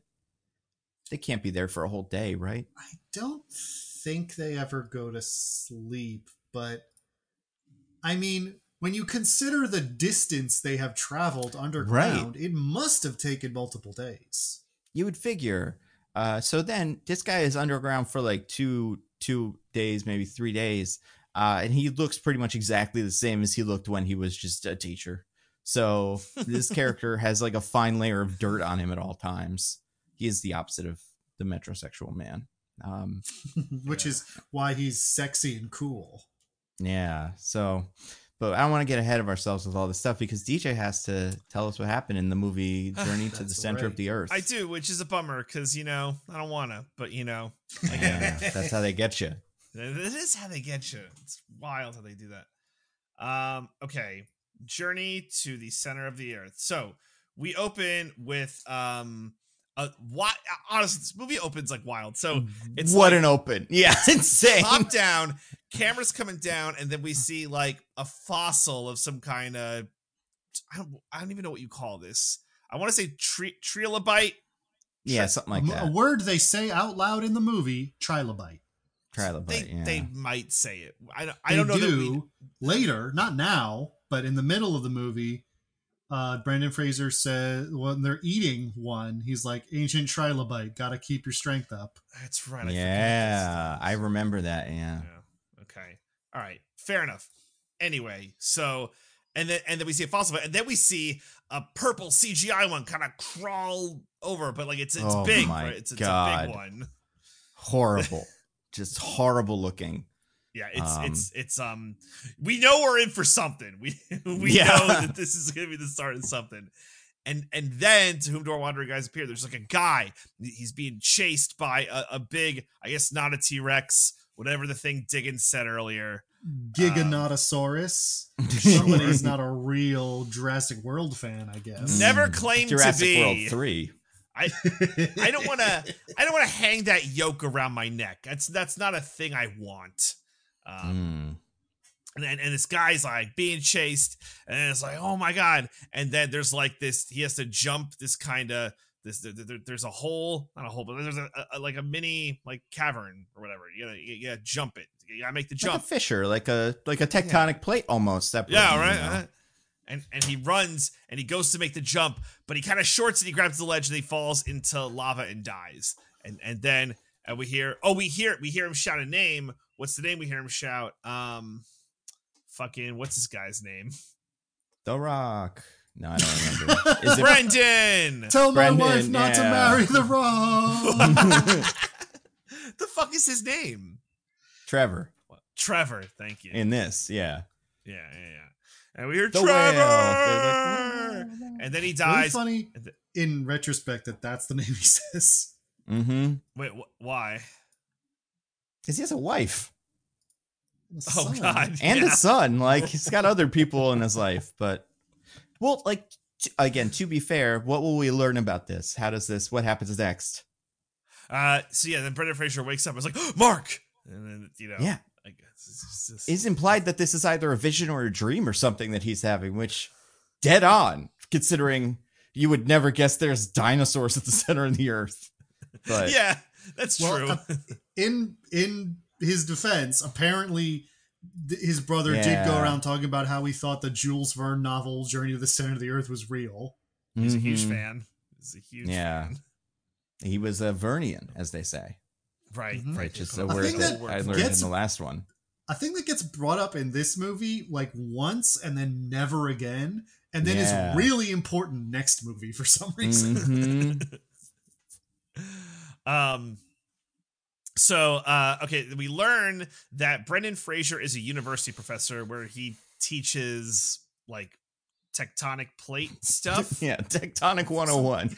An entry level kind of geology. tectonic plate class. Yeah, you know, you know when you guys remember when we had to take our tectonics requirement I when we do. were studying at school. It's God. cool. I slept through mine, you know, much like Yeah, the I kids in couldn't- this school. Couldn't focus, you know. Mhm. There's too much going on. Um, yeah, golly gee. And uh, he has a lab at the university that seems like it's failing, and it was his brother's lab. Um, and and it's being shut down by Seth Meyers and his giant tape measure. And uh, you know, it's quite the. It's got a lab with lots of dimensions, width and depth. Uh, also, do you remember what the name of the lab is, or what the what the like kind of a- the, a- absolutely not. There's no it's chance. the study of? It's just the Maxwell Anderson Center for the Study of Plate Tectonics. This guy went all in on tectonics, real real hard. Tectonics being a, I guess, a thing that people are still looking into, but like, I got- I don't know, man. You think is this a real thing? Do you think there's one of these? I have no. D- Diggins would know. He's our you know resident. Probably. ge- I mean, the study of tectonics is still there's still a lot we don't understand about how and why they move, and you know, Mm. predicting the movement of tectonic plates is very important for understanding like earthquakes and such. So I would imagine that there's labs like this. It's kind of like for magnets, me- right? What are they? What are they? Yeah. are they? I guess for me, I would just assume this is like a room in the geology lab or something, or like the weather lab. Right, it's not that his whole lab. You would have right? a whole lab for this feels a little much to me, but maybe it is. You know, someone, and if any of you guys in the Discord work at the tectonic plates lab or whatever, let us know because Yeah, and we hope we, we hope it's doing well. We we hope Seth Meyers is in there now, shutting it down. Oh for, my we don't even know what he- he's replacing it with. He's just like, Storage. shutting this. Sh- they're out of Oh, right, storage storage. space in the That's right, university. storage. Yeah, that's how he needs to know how much space there is. right. um. So, uh, he's like, no, that's uh, can't do that. Whatever. He's like, I, I got, I got, uh, uh, like my three remaining sensors from twenty nine are like going off in like these three areas. It was what Hawaii, um, somewhere in South America, I want to say, and Yeah. Ooh, take a guess. Burma. Hmm. Wow. Not in South America at all. Oh man, come on. Like, I, I, If you had said any South American country, I would have been like, fair enough. but I know, it was, know, it was it was a B it was- one. It was right? Bolivia. Bolivia. But if you Oh, okay. if you had said like Chile, Argentina, Paraguay, I'd have been like, yeah, okay. no, but I, mean, knew it was I knew it was B. Like I, I knew it was a B one. Brazil. I would have been like, yeah, all right. Well, Brazil would have Uh, been good. Yeah, I should have done Brazil. Burma, Uh, Burma. a country Burma. in Asia, nice. Yeah, Well, because I always I always think of my favorite. also Dark not Knight- called that anymore. yeah, and definitely not in 2008. Let's maybe this movie was written in like uh, you know 1976 or something. No, and they had wasn't the- that this is the from- Burma cut? No, wasn't that from uh, the Dark Knights? Like we were we were in Burma. We are looking for for gems size of a grapefruit. Well, he's Right, talking about that his was days from the in the past. SAS, Okay. uh, Yeah, which was decades ago. Burma has been Myanmar for the past thirty-five years. but he said that in 2008. Because Yeah, he's an he's old man, an old DJ. man. We can't get him to change. also he said that in well yeah he said in 2008 about like you were saying this this um thing but my my uh uh like touchstone for this is always seinfeld where jay peterman goes to burma but it's myanmar but he says it'll always be burma to me because he's like guess that's what it used to be so that's a uh that's, that's that's another reason to watch Seinfeld. Funniest show, funnier than Friends, and teaches you some geography every so often. Yeah, it's okay. So Pretty good. fine. And Jason Uh, Alexander's a robot now, so also very important. Happy Peanut Man or something. Okay. A lot of reasons. Yeah. Uh, where were we? Um, Uh, we're like two minutes into this movie. He's I know, right? the computer Yeah, screen has uh, a couple countries Although you still got to give some me of that third one, Yeah, what's the third Oh, one? uh, pff, I don't remember. This is like Mongolia. Japan or something. Mongolia, Oh, yeah. okay. Yeah. Uh, so you know, very, very, very important. Uh, okay. Uh, so he's like, uh, oh, it's all matters. So, uh, whatever. He goes home. He's sad. He has uh, messages from his sister. He's supposed to watch his nephew this weekend. Oh, I don't know. Not just the weekend, DJ. yeah, a whole week or something. It seems like it's unclear how long this is going to take. She says ten days. days. Oh, okay. Oof, ah, that's a lot. At one point, Brendan Fraser's like, "It'll be a nice couple days, or four, five days, or ten days," and I was like, "Do you not know?" Or I don't think I so. think that was him trying to be like, oh, let's cut this a little short. Yeah, okay, that makes sense. get, get out of here. Um. So it goes. Okay, we gotta. Uh, we gotta. We gotta. We gotta get rid of the child because because he's uh, he he he he has to watch the child and it's frustrating. Um. So I'm trying to think how I could like like zoom past some of this. So okay. Um. He is like the the kid's there and it's Josh Hutcherson and he's like shitty. He's like angry. He doesn't like his uncle because he's like an edgy kid and I guess he lost his dad, and I like I guess that's part of it, kind of, but like it's not really made clear yet that the, like that's where some of his angst is coming from. Although I it think it's extremely is. clear. I mean, Is it's it definitely though? it's clear. I think characters in movies like this have had fathers that weren't disappeared in Journey to the Center of the Earths. Uh, and this is just how you wrote a kid in 2008. Like this is Right? just But like standard. the like I like computer and not book. Yeah, go Yeah. away, Like their old first- man. real interaction is Brendan Fraser opening the box and being like, "Oh, this is all your old dad stuff," and Josh Hutcherson going like, "Really, my dad? My mom doesn't talk about my dad." And it's like, okay, I Yeah. get All it. right, yeah, all right. So fair enough. So that that's that's our character. Um, so they're they're they're looking through. i've I forget what like the triggering mechanism is for like. So he's like looking in like the notes of his like old of his brother's stuff, and like he wrote three the three places where the three sensors are currently going off, are like written in the book. He's like, oh, I guess this is something. Um, Uh, yeah, kind of. It's that they go on the computer and find the fourth sensor is active, even though it shouldn't be. Well, right? DJ's right about that's why he goes to check the sensors. Oh, okay. I see. So, but right, yes, and then they go to the computer. It's like, oh wow, a sensor is still working. That's wild. Um, and then they kind of do some like, uh, oh right, they they're like, we're gonna go on a plane, even though they don't fully know where they're going yet, right? Because they don't solve the puzzle of like the place to go till they're on the plane. Yeah, that's they know they they know where they're going because it's a it's a geolocated sensor. But on on the plane flight over, they see they figure out the name of this guy, and they're like, "We should check in with him, right, right. Because your dad might have talked to him." Yeah, Right. I guess like there's not a whole lot of planes to Iceland. This isn't, you know, you don't it, like there's plane, a lot of planes to Iceland, but it's not like They're It- all to, you know, there's you fly in airport there. Iceland that's not in Reykjavik. yeah. also, does he Google on a plane? Well, Yeah, I mean that's that's the the, of the PSP. PSP. yeah, that's, that's why they got rid of those. Is because Gogo in-flight Wi-Fi was like, we're not making money on this thing. We gotta stick to PSP. He's googling at thirty thousand feet, DJ. Yeah, That's the kind of power you get with a Sony product.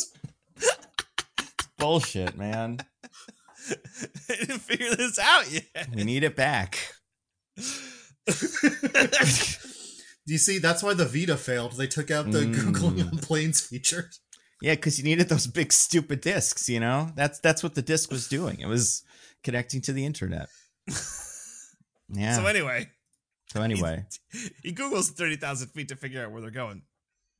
Uh so they they they they go they get to where they're going, they go to the house and uh there's a woman there and it's like, "Hey, do you know like this or the, is this a research center?" And she's like, "Oh, this is my dad. He's gone." Um there's like, "Well, we're looking for this place." Did you And- another thing I would love a crack at? This guy's name. Come Oh, on, stop it. Stop it. Stop yeah, it. Stop it. I mean, I'm starts gonna with an do S, it I think. because, I don't know. I, I'm, I'm, I'm gonna do it. Um, Skjordshin Skrockerskin. Wow. Could not have been more wrong. I could have been more wrong. How dare you? I know there's a P and a B Sigurbjorn B in it. Yeah. All right. All right. Also, DJ, I think you undersold. So this man is like an old scientist guy, Mhm. and they open up the. They, they go to his first of all what they think is a lab and it's just like a little Yeah, little, little log shack. cabin Yeah. uh, and a supermodel opens the door or something. It's an insane. Oh, this is that same guy. This is like something totally different. You would assume you got the wrong place. Yeah. But- right. Uh, but no, they, they they they they go for it. Um, so they're like, "Oh, we're looking for this place." She's like, uh, "You shouldn't go because you'll fucking die." Um, and they're like, "Well, what what like could you be our mountain guide?" And she's like, "All right, I'll be your mountain guide, I guess, because I'm gonna make some money. The whatever units we discussed prior." Five thousand krona an hour. Yeah, Good rate. six fifty, a very reasonable rate. Like, you got that, Brendan. You you got that. I'm assuming not even in quarters. You probably have that in cash. Yeah, they act like it's crazy, but then when you actually do the math, it's like that's not an unusual. That's not like a crazy rate for a mountain guide. Like Yeah. that's dangerous work. it seems like these characters didn't go to get money. They didn't get like local cash before they started this part of the trip, which is insane. But they also don't know have any s- s- um like Icelandic uh, phrases or like any books. We're really That's lucky that this character speaks English at all. yeah, th- there was Now, no. to be fair to them, Iceland is one of those countries where like Yeah, nearly everyone you meet will speak English. that's fair. well, that's that's good. That's good to know. Yeah. Um, Most of the Scandinavian countries are like that because nobody is going to know their languages, and they know that. Mm-hmm. Like, I kind of feel bad for every- them. I mean, you know, it's it's like they obviously use Icelandic amongst themselves, and it's still a very alive and vibrant language. But they learn English in school, and nearly everyone you speak to will be able to speak at least some English because you know you're not going to be able to rely on Icelandic anywhere outside of Iceland. I mean that that that makes sense. That makes Yeah. sense. Uh, okay, so where were we? Uh they hired this woman for right, six they- fifty an hour. Yep, and then Mountain they kind of go on their mountain trek. Um, and just I don't know how much this detail matters, but I'm just gonna mention it anyway. They like kind of discuss who gets like first dibs at her, which is like Yep. kind of fucking They're gonna insane. They're gonna take turns, but obviously someone has to go first. Uh, so Just- they do call it. it's wild. I do. I want to say, in fairness to Brendan Fraser's character, Josh Hutcherson says that, and Brendan Fraser is Mhm. like, "Are you serious? You're like 13." Yeah. Well, he's like, "Are you serious? You're 13. Obviously, I get tips. Obviously, yeah, I get to fuck our guy. if you were older, sure, technically you would get you would get her, but I get her now. it's fun though because that comes back, and uh, I was shocked when when that comes back. Uh, and I was like, "Oh, they are gonna good, good for her. She's on board." I mean, to be fair, he's Brendan Fraser, so you know, it's he's a handsome man. Maybe, you know, I mean, he's no The Rock. He's no The Rock. Well, He I don't know. He's he's a more he's a more lovable The Rock, perhaps. You know, and Oh, especially this is in the- 2008, Nando. There's no one more lovable than The Rock right now. yeah, this this Except is maybe true. John Cena. Oh, remember that meme? That was a fun meme. But uh, and also this is before The Rock turned into a big giant like man made of muscle and stone and stuff. He was before like a human man who you could conceivably hug and like touch without hurting yourself, you know? So that was that's something Brendan Fraser, this Brendan Fraser has on the rock from Journey to the Mysterious Island. Um, that is true. Uh, so they, they they go on their journey, and then they're kind of like they're they're- in a place where just like a lightning storm kind of happens. Uh, and then there's basically like uh they they get into a cave, and there's like a lightning strike, and then it collapses, but they're fine. Well, they're fine, but they're trapped, and it's like, oh my god, we're trapped. Uh, so they have to make their way through the cave. Uh, you know, one thing leads to another, da da da, and um, they start falling in, in like in, in a hole, and they're falling for like a really long time, like a crazy long time. Like they're just having a full on conversation while they're falling. It's it's kind of insane, and it's like, oh, I guess Just like that Spy Kids 3D scene. just like Spy Kids, yeah. Oh no, that's Spy Kids 2 that happens in. Sorry. That's right. Yeah. And I, I guess I, I, I should have mentioned, but like you know, like their their plan is like, oh, maybe we find like a mine shaft or something. But like the the idea of a center Earth thing has kind of been brought up, but you know, that's that's not what they're like looking for. They're looking for a way out, and they fall down a hole. Um, and it's like well, do you know? part, Do you remember why they fall down the hole? Mm. I don't remember the exactly why they fall down the hole. Well, because it turns out they're standing on Muscovite. Oh, Yeah. right, right. Yeah, and DJ, you left out the most important part, which was all the trailers for this movie. Like, I'm shocked it's not on the poster, but the big cool action scene that takes place before the Muscovite stuff, right? There's a there's a big cool action scene. I mean, I guess big cool is is a, you know I have a relative. about it. If you want to but wait till there's- then, There's a slightly derivative bit. Well, well, yeah, we'll get to it, but something happens between between those. It doesn't matter for the plot, but I, I don't know why I don't remember this, but anyway, to, we'll get there. So, yeah, Yeah. yeah, we'll, we'll get there. Fair enough. So, uh, they're, they're falling, and it's like, oh well, hopefully we don't like fall to our death. And Brendan Fraser's like, it's okay. And I still don't fully understand this. It's like there's water further we go down, but like the water is like rising up, so it'll be kind of curved, so it'll be like going down a water slide, so we won't plummet to our death. It'll like cushion our fall, and then we'll slide down. And the woman's like, oh, but it also might be like stalactites, and it might just like uh, uh, pierce us and kill us. And he's like, well, maybe that. But luckily, it's not that one. It's the water slide one. Thankfully, Wait, It'll be it'll be what, DJ? St- stalagmites. no, Is mites the Oh, up yeah. ones? It is. It's, it's not on the fair that there's yes. down and up ones, mites and tights. Just Um, use my helpful mnemonic, which is stalagmites might hang from the ceiling, but they don't. Oh, really? Is hate that, your helpful mnemonic? So it is a joke, but also because it's a joke I've made, I remember it and it does help me. Oh, okay. All right, Yeah. all right. Stalagmites might hang from the ceiling, but don't worry, they don't. Okay, all right. If anyone actually needs a mnemonic for this, stalactites are on the top. That's all you need to know. Yeah, And then right. M is the Isn't other that- one. Isn't that That's- one? I believe that's how I was taught it. Um, I think mine uh, mine helps a little bit more. It's a little clearer. I was thinking Um, like stal- stalactites also- are too far away. Yeah. I believe Mm. the way this is supposed to work, the way Brendan Fraser posits it, is the water is like on the walls as well. So the idea is the walls will start like curving down and they'll be able to like get on the walls and like transfer the momentum like a slide so that instead of just hitting the ground and dying, they'll like slowly like by sliding along the wall transfer the vertical momentum to horizontal momentum and instead they'd probably still die. I was like, in gonna real yeah, say- oh, for sure. but it's it's not a it's not a completely baseless thing to say. Sure, why not? Mhm. Um, so they do that, and then they wind up. Oh my God, we're here in the center of the earth. Oh my Um, god. We did it. What's it like? Um, it's it's like a beach. You know, there's there's there's there's some like trees and stuff, and uh there's glowy birds. That's cool. There's birds that glow. oh, wow. Um, because we're in the earth, I guess. So whatever. Um, so Is it, does it remind you of any other movies that this kind of looks like? Because I was shocked that this is how they do the center of the earth in this. They're actually I I I. What what is the one that came to mind for you? The Aquaman movie, where he goes to the center of the earth and it's this.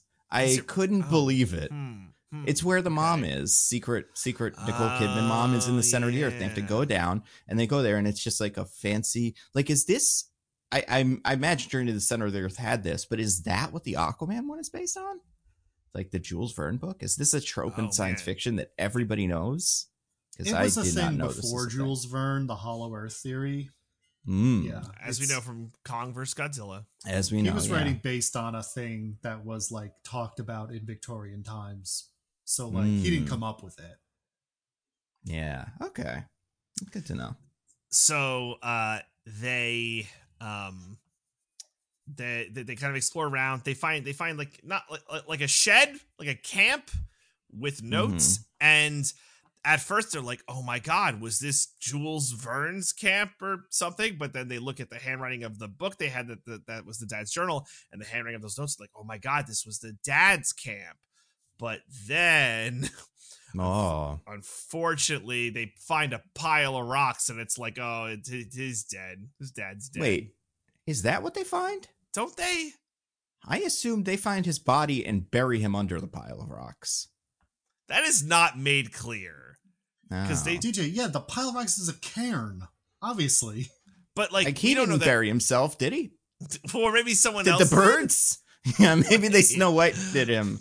It- okay it is not there unless i forgot it there's no scene where Brendan Fraser and the crow are like, "Oh my god, this is a dead body," right? Like that. Like that's not a I scene. mean, Well, she doesn't say the words "Oh my god, a dead body," but there is a scene where Yeah. we see uh Hannah is Yeah. her name. yeah. Uh, like looks over like something. She like picks up a fl- an old flashlight, looks over, and goes like, Yeah. So Yeah. like that's pretty heavily implied to be her finding the body. Okay, well, I didn't read that that way. I just thought they found the cairn. like Who made the Hmm. cairn then? a- anyone. It could have been anyone. I don't know. The T Rex. What do you mean it could have been anyone? They're in the center of the earth. Mm. We, we don't know who else is there. I don't know. It seems Maybe a lot Michael of people are Caine made it. out. He's been living there for years and years. We'll learn. Uh, all right, fine. So anyway, they found his body apparently, not the cairn. My mistake. Uh, and they also found a journal where uh the dad Max wrote a very sad note about oh today was by the way Josh Hutcherson's name his character's name is Sean.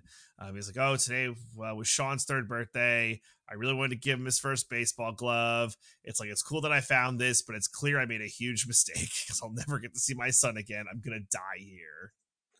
Um, which actually, hold up, hold up, because now I think I am right. You say that she finds the body. How he falls into lava and dies? Well, that's a dream. Yeah, I don't think that What? literally happened. No, Here's that's how like I know. he- he he saw his brother die. I He a mean- dream about his brother dying. We don't have to accept that as fact. I think it's extra weird though, considering this character. I don't think believes in the center of the earth. Like when the when the movie starts, it's like like we got to go get him in the center of the earth. He's just like we have to find him. Like they're not going on a journey to the center of the earth. I don't think they're going to find this little machine. Um, yeah, they wind up in the center of the earth. Yeah, but well, Nando, I, I the checked. thing is, they knew that they weren't going to get to the center of the earth for I counted 45 minutes into the movie. yeah, So they're like, we got to give them a little taste right at the start, or everyone's going to be like, Mm. this isn't a center of the earth movie at all. that's fair. I yeah, see. the I see. I will say, because I checked, the scene where they find the pile of rocks ends like it, it begins with Brendan Fraser finding two rocks and finishing the pile. So that's why I was like, oh, Yeah. he made this pile. Right. But like, it Oh. wasn't just like all of a pile except two rocks, I assume. I think he. It's like Brendan Fraser found a cairn with uh, and was like, I gotta make this my own, and put two Yeah. more rocks on top to be like, now I made this. Mm, it's missing something. Mm, don't know. Although I do, I think there's maybe a cut of this movie where he builds the entire thing, and they were just like, "We don't need to show this. This movie's already way too long." Yeah, well, what's what's. DJ gonna think happened? yeah. She found the don't show with it. two rocks on it. They, If Mhm. I was in the test screening, I would have been like, guys, you got to flesh out this scene. It is Yeah. not clear what's happening here. Add a I think this- voiceover where Brendan Fraser goes, I just got done finishing this cairn for my brother whose dead body we found. hmm And just to be clear, he was not under any rocks when I found it, right? No, yes, Al- he also, wasn't. al- also be to be doubly clear, he did not die from falling into lava. He died from exposure or whatever. yeah, I guess that died. weird dream I had was just a weird dream and not what literally happened to my brother. Hmm Like even if you thought the center of the Earth was real, you wouldn't think there's dinosaurs there. You'd just be like, they No, put that that in the book because people is- love dinosaurs. It's But- in the Journey to the Center of the Earth book. So if he's having a dream of like my brother ended up in his favorite book in real life, then Mm, you would have that in there as part of your weird dream. I guess that's fair. But anyway, Uh, so once they're done building right. this giant, and it's not a big for people. It's like maybe like you know the size of like big, you know, like a beach ball. Like it's not that it it it'd be funny if it was like a mausoleum, but it's it's not that big. Although Brendan Fraser's very cool and tough, so he could do it if he had to. He is very cool and tough. Um, but so now we have the problem where we have to leave the center of the earth, and the I, the way he explains it is they're they're surrounded by lava, but they're in an air pocket, and if like after a while, it's just gonna overheat them like they're in an oven, and they'll just die. Um, because it'll get way too hot in there. It's probably how the dad died. Um, Just made to question how anything's Does- alive down here. Doesn't but- make any sense. Yeah. Such a weird little thing. Unless this is the only time that's ever happened. Well, then it wouldn't have gotten the dad. Yeah. So Actually, all of it would be going gone. back to that, the dad died 10 years ago. What remains did she find? A little skeleton? Probably. Yeah. Yeah. Probably. With a little hat on or something. He and skeleton you're like, this hat is on, his yeah. favorite hat. Yeah, that's what we do. All right. Mm. Well, Uh, remember, she had found the water bottle that said Max. So, Right, like, right. Yeah. they did make She this had clear, reason huh? to believe that any pile of bones she found would have been him. Well, this is the max pile. Uh, that pile might be a different pile. This is the max pile. Uh, so, so they have to formulate a plan to get out, and their plan is to make a boat because that's what's in the book. Isn't Sean so smart? Um, so they make a boat, but like the sail is isn't like has a center mast. It's kind of like this like parasail that is used to pull them because like the good air is way up top because thermo whatever. Um, so they're they're sailing. I'm gonna kind of not like rush through, but kind of like there's not a lot of plot heavy stuff here. Just we're kind of like on the journey. So like they fight off some piranhas. Isn't that crazy? Um, the, the the the big thing is that the the uh the sail like gets loose and Sean has to hold it. At some point, it pulls Sean away. So now the party has separated, and it's like Sean's on his own. Yeah. It's like this Um, needed to be longer. Thank you, movie. Right? I know. I mean, listen, it is it a tight 90. It is It's a tight 90, but it, yeah, it's just there's a little bit weird pacing. Um, it's I- I- paced poorly. Yeah, I think that's Yeah. right. I, I, should I Almost should have like mentioned. that thing I always say whenever this comes up. Yeah. Mm. Yeah, yeah, yeah. Um, I should mention this because they kind they kind of tell the movie telegraphs is going to happen because at what uh, before they set off on their boat journey, uh, Brendan Fraser goes to the hutch. Hey, this is your dad's compass. Your mom gave it to your dad, so you would never get lost. Um, use this, and Yeah. the poles are switched where we are, and we have to go north. So that means we have to go. He's like south, and it's like yeah, good job. You know, this will probably come in handy later. Um, so And the answer is kind of not really. I mean, Yeah. I guess it helps him direct himself, but it's it's not important in the movie way where you're like, oh, Yeah. there's going to be a dramatic moment. Yeah. Yeah, because so the the hutch by himself stuff is like he wakes up, he's kind of wandering around. Uh, he has a little bird friend, a glowy bird who helps him, who I think is supposed to be the dad. Like I think that's what that What? is. Mm. Oh, guys, come on! I don't know. Maybe I know. I I'm, think I'm the not bird is it. the dad. The bird is the dad? The bird's the dad. No, uh, please, you're speaking metaphorically. I don't know. Maybe there's different rules down here. I don't know. Mm. DJ, if you had said yes to that question, I would have been like, okay, sure. No, I, th- I I'm with DJ. I think the journey to the center of the earth turns you into a bird after a long enough. Maybe. Yeah, Maybe it does. I think so. that's the bird's right. the dad. And the birds help guiding him. So he has to do like a little like jumpy magnetic stones puzzle. Um, yeah, video game puzzle. yeah, a little- seriously. little platformer. Um, uh, but but then we get the the the dinosaur snot, the mixture that Nando had mentioned. Um, and then he gets chased by a Mm. dinosaur. But hold up, we'll, we'll we'll get back to that. Meanwhile, Brendan Fraser like kind of decides I have to go back and get Hutch, and uh, Hannah is like, okay. I'm gonna go down the river where we're supposed to meet because uh, their plan is to take a geyser all the way up. They're just gonna take a geyser and shoot it up to the top. It's the, it's the best way back. And so he's like, I'll meet you where we in gotta the book go. also to their All right. in their defense. So we'll go there. And he's like, okay, but I gotta go get Sean. Uh so so he goes, I guess he like sees a ruckus and is like, oh, it must be Sean. So Sean has cornered himself in this cave where he's being chased by the dino. Uh, I guess all cave walls down here are made like paper mache because like the dino's busted through them. That's fine. Dinos are tough. But Brendan Fraser just takes like a stick and like bashes through the cave wall, which is like, it's not- It's not rock, it's bone. All right, either way, like I mean, it's still crazy, but I'm just yeah, saying. fine, fine. So Dino breaks through fine. Brendan Fraser with stick breaks through. It's nuts. Mm. Um, uh, but I, d- d- and then they they to, to- I- I guess maybe the dream was in reverse because th- they're running from the Dino. They have to kind of like split up, and the the Dino is chasing Brendan Fraser.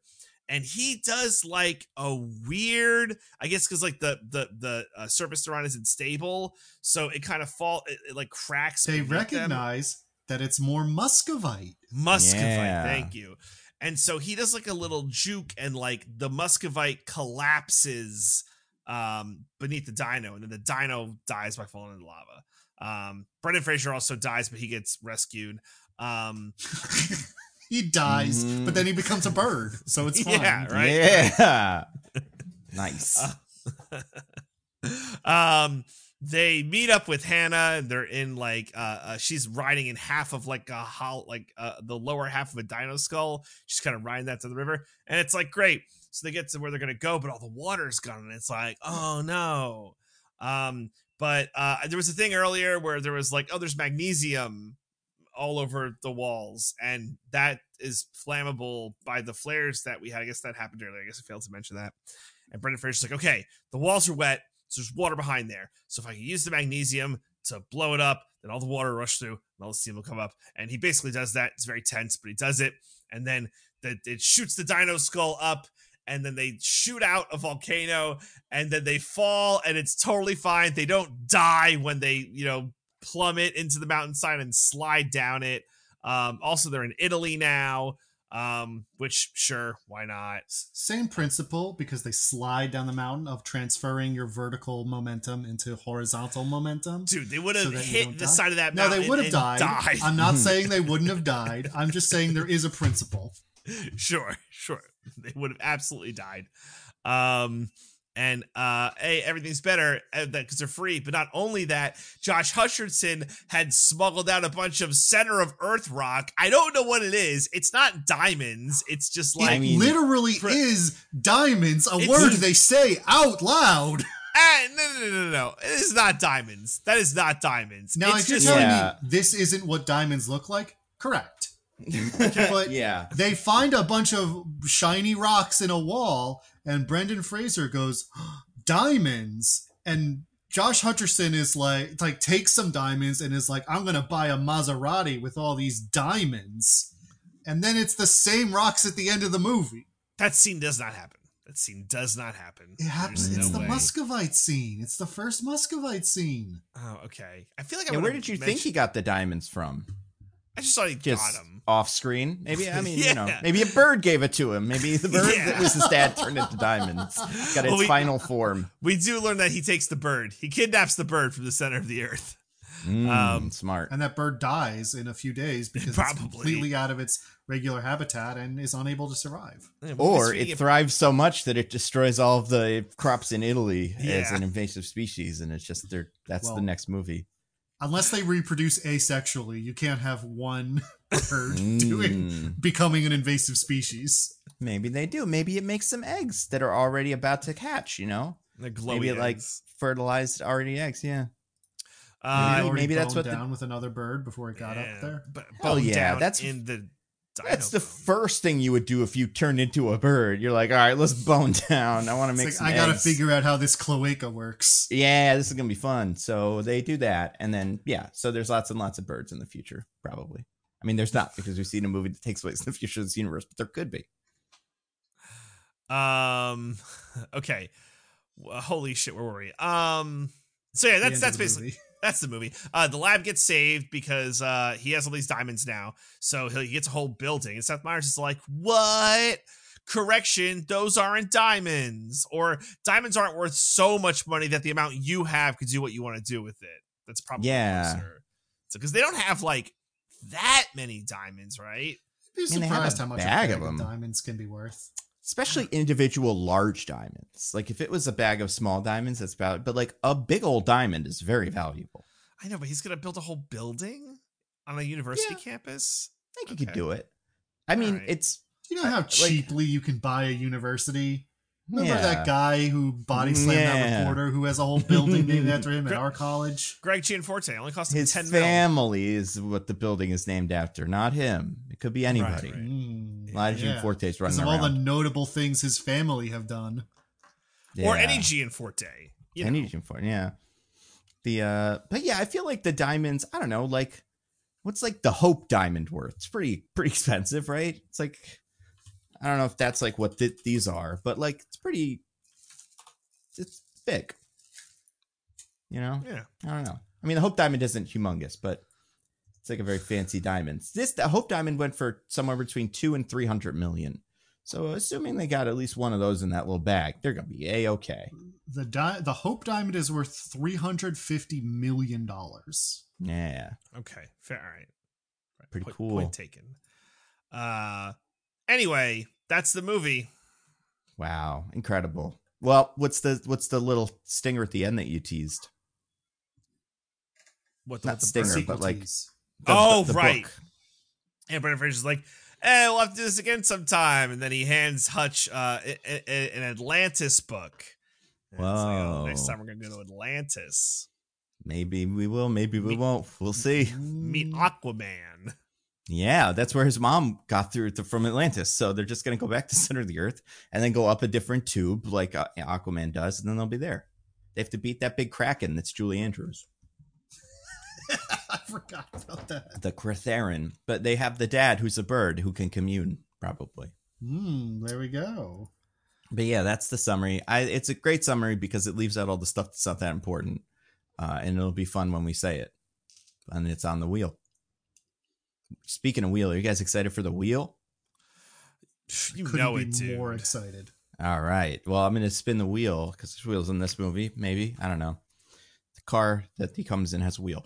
Uh, spin the wheel. Tick tick tick tick tick, and it lands on uh, one of Diggins's. Diggins, which uh, which which one is this? Can you read this one to us? Uh, mine here is Yo-Yo Prodigy. This kid is Mm. unreasonably good at yo-yo for someone who's never even heard of it until this moment. Yeah, especially considering this movie takes place in 2005. Yo-yos were fucking everywhere in the in the 2000s. Right? There's no way this guy didn't have a Duncan Yo-Yo commercial between you know Rugratses and stuff like for for us. Did you guys ever try it. to yo-yo? Oh yeah, I might have one in this room. Like I like. I probably don't, but I'm a pretty good yo-yoer. I have never gotten a yo-yo to work in my entire life. Are Not? Really? I can't Even- do it. What give it about the ones with the brain? The ones that cheat for you? You got to get you one Ah, of those. yeah. Oh, so, yeah. Yo-yos are pretty fun. What's even like mean- the idea? Like I, I can't even figure out how it works. I don't know how to describe it. It's just something you do. And next time, next time I see you, I will have a yo-yo and I will show you. We'll talk. We'll talk through it. I'll see if you can do it. I think you can. I think it's just like you just have to tr- to do it, and then you'll you'll know. But it's like riding a bicycle. You get two wheeler. Now there also are like the butterfly yo-yos are the ones that like kind of flare out. Those are easier to use. So that's So- not what he has. But if you start with that, you can maybe have a better. He's got like an old Start- school yo-yo. Yeah. So, so Diggins, you're saying like when you do the yo-yo, it's like you put it down and it just like plops. It's just like Yep, every single time. Fascinating. interesting. Did you did you grow up seeing a bazillion commercials for yo-yos? Oh, 100%. Okay. So were you were you upset that you couldn't get it to work? I mean, uh upset is maybe a little strong. Annoyed, perhaps. Did you ever try like you, didn't- you know like what, what's up, Nando? I was to say you didn't take this like super personally and just start doing yo-yo like buying yo-yos and then destroying them because they didn't Or- work. yeah, I became a I became an anti-yo-yo Batman villain. Yeah. Yeah. he would like yeah. interrupt me while I was in the middle of a Toys R Us, just torching all the yo-yos. Yeah. You joke, like- but I'm pretty sure there was a DC character that was yo-yo themed. I'm, look, I'm looking I'm it sure up now. was. Yeah, in And, like- Flashpoint Paradox, one of the one of the Jokerish villains is the uh is Yo-Yo. She has a yo-yo. You could have had like all the all the moves would be like walking the dog, cat's cradle. Like that would have been all Yep. of, like your villain moves. Shoot the Right, moon. This speaking of which, this kid, first time he's ever touched a yo-yo, and apparently never even like heard of it, is doing walk the dog, is doing around the world, Yeah. he's doing all of it. yeah.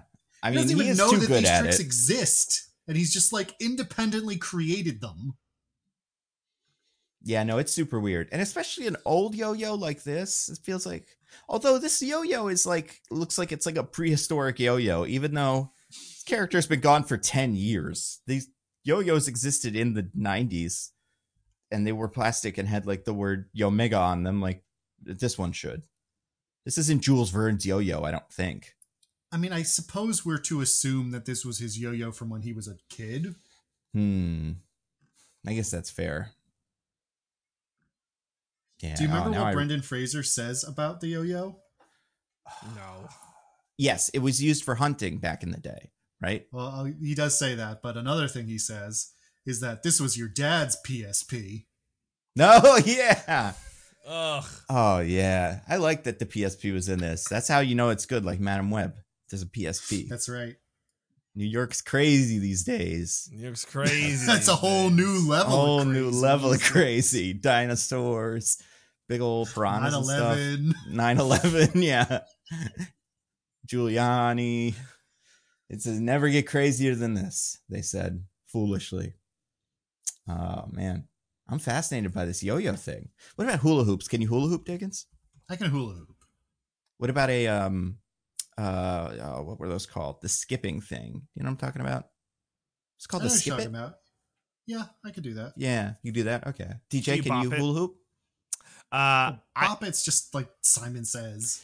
Yeah, yeah, no, no, I that that was mostly a joke.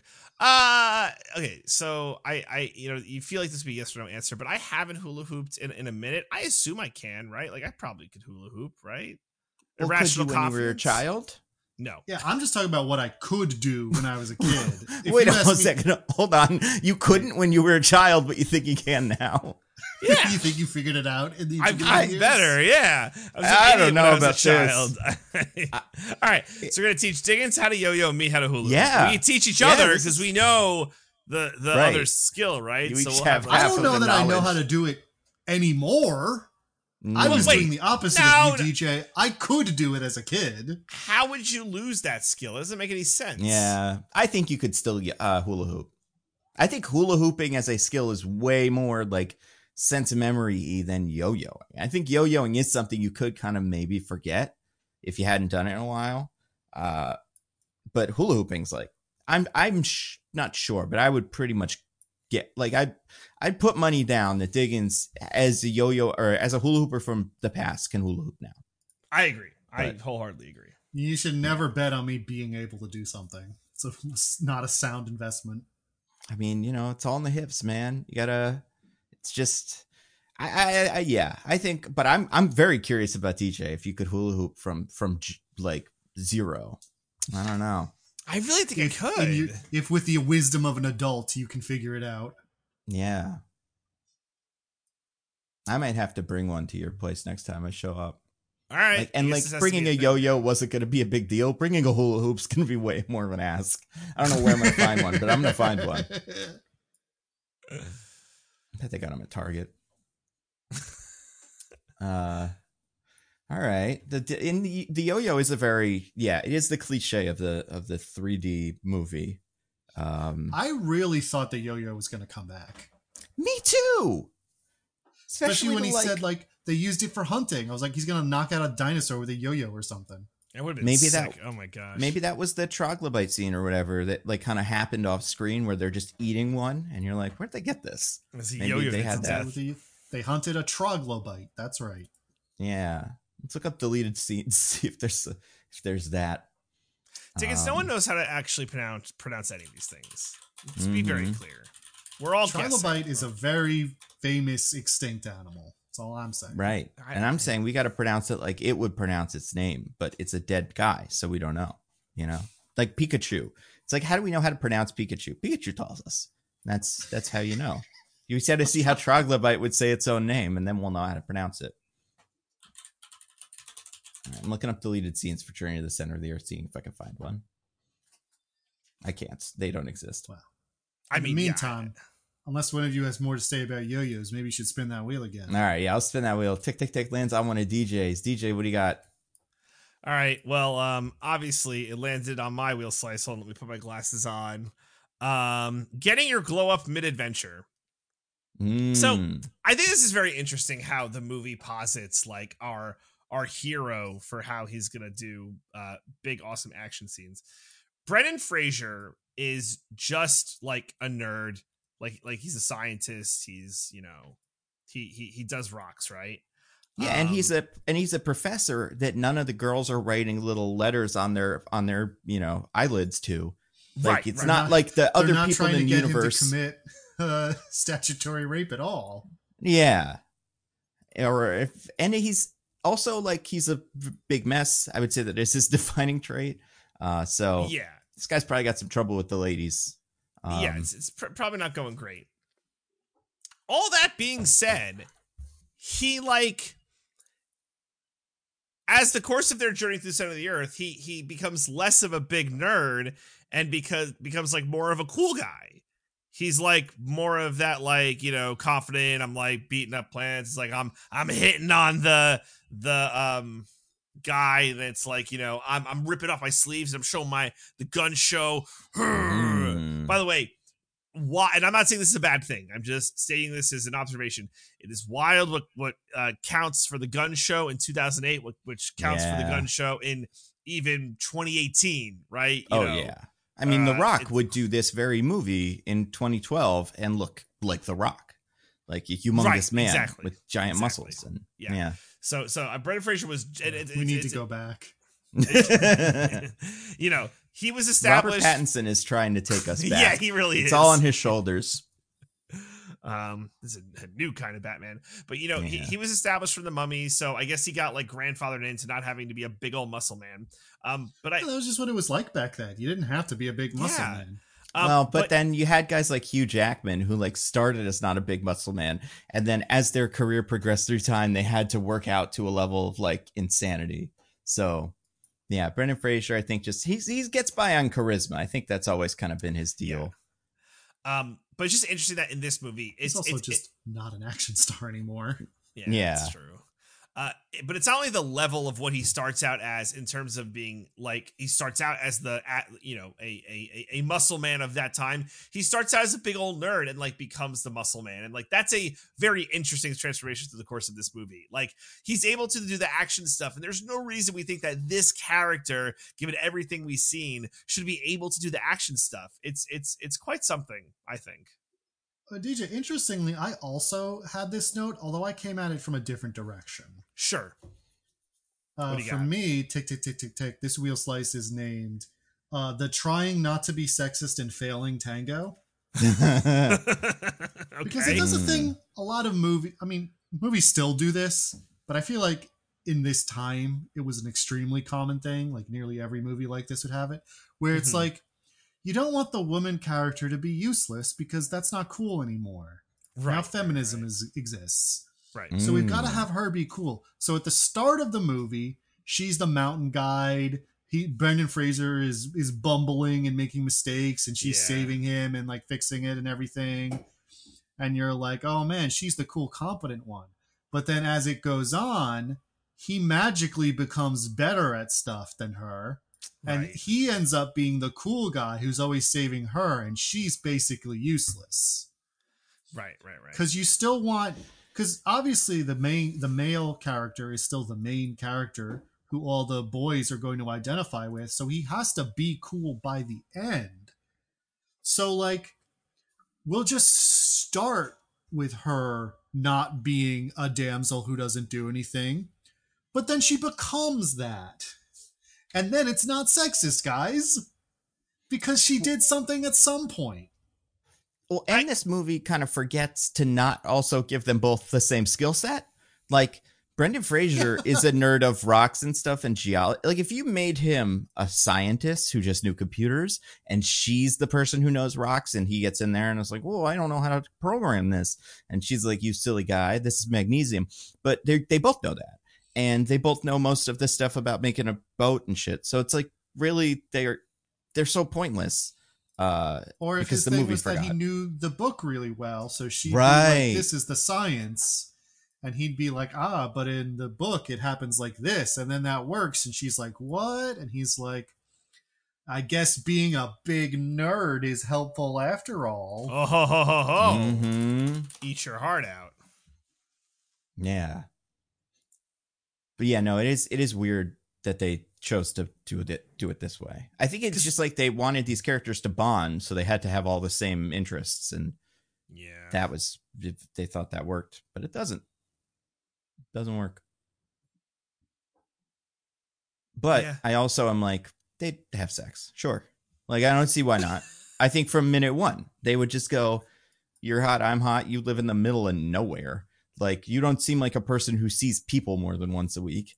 And I'm Brendan Fraser. And you live in Iceland to begin with, a country where you need an app to make sure anyone you might date isn't your cousin. yeah, exactly, exactly. Is that um is is is, is that true? it's true that there's an app in Iceland to make sure that somebody isn't your cousin before you date them. That's crazy. That's Well, crazy. it's an it's an isolated country with not a very large population. It's a real problem. Yeah. Man. Have you not seen?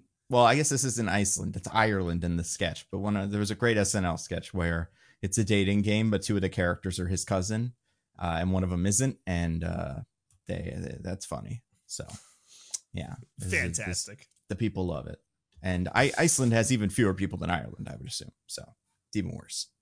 Um, I'm gonna put in the chat.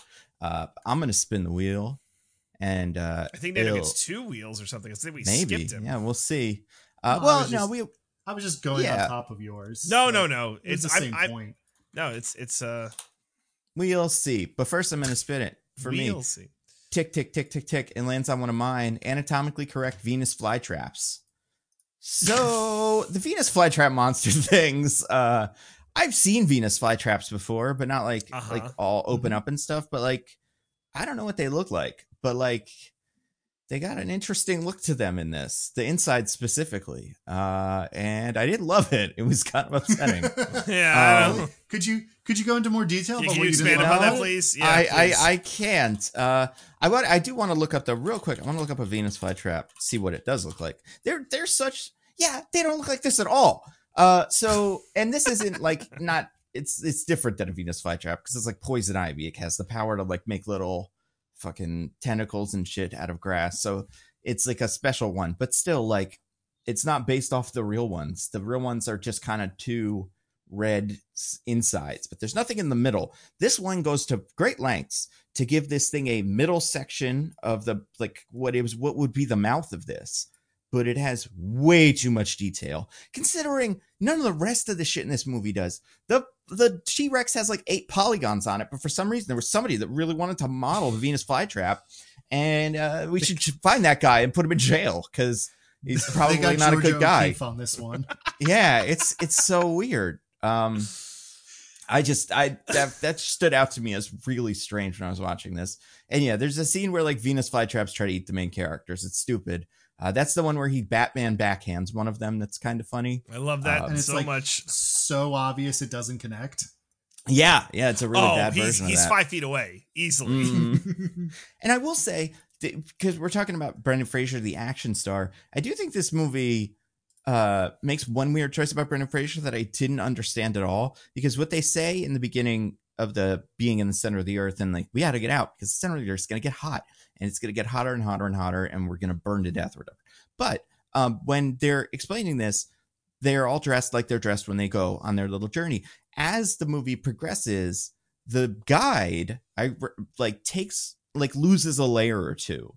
Brendan fraser when he is constructing the boat has on like a, an a shirt or whatever you call it, tank top i guess that was underneath his thermal like sleeved shirt but then from every scene post that he puts the shirt back on like why is he not Yeah. wearing the the A shirt the whole time? I don't.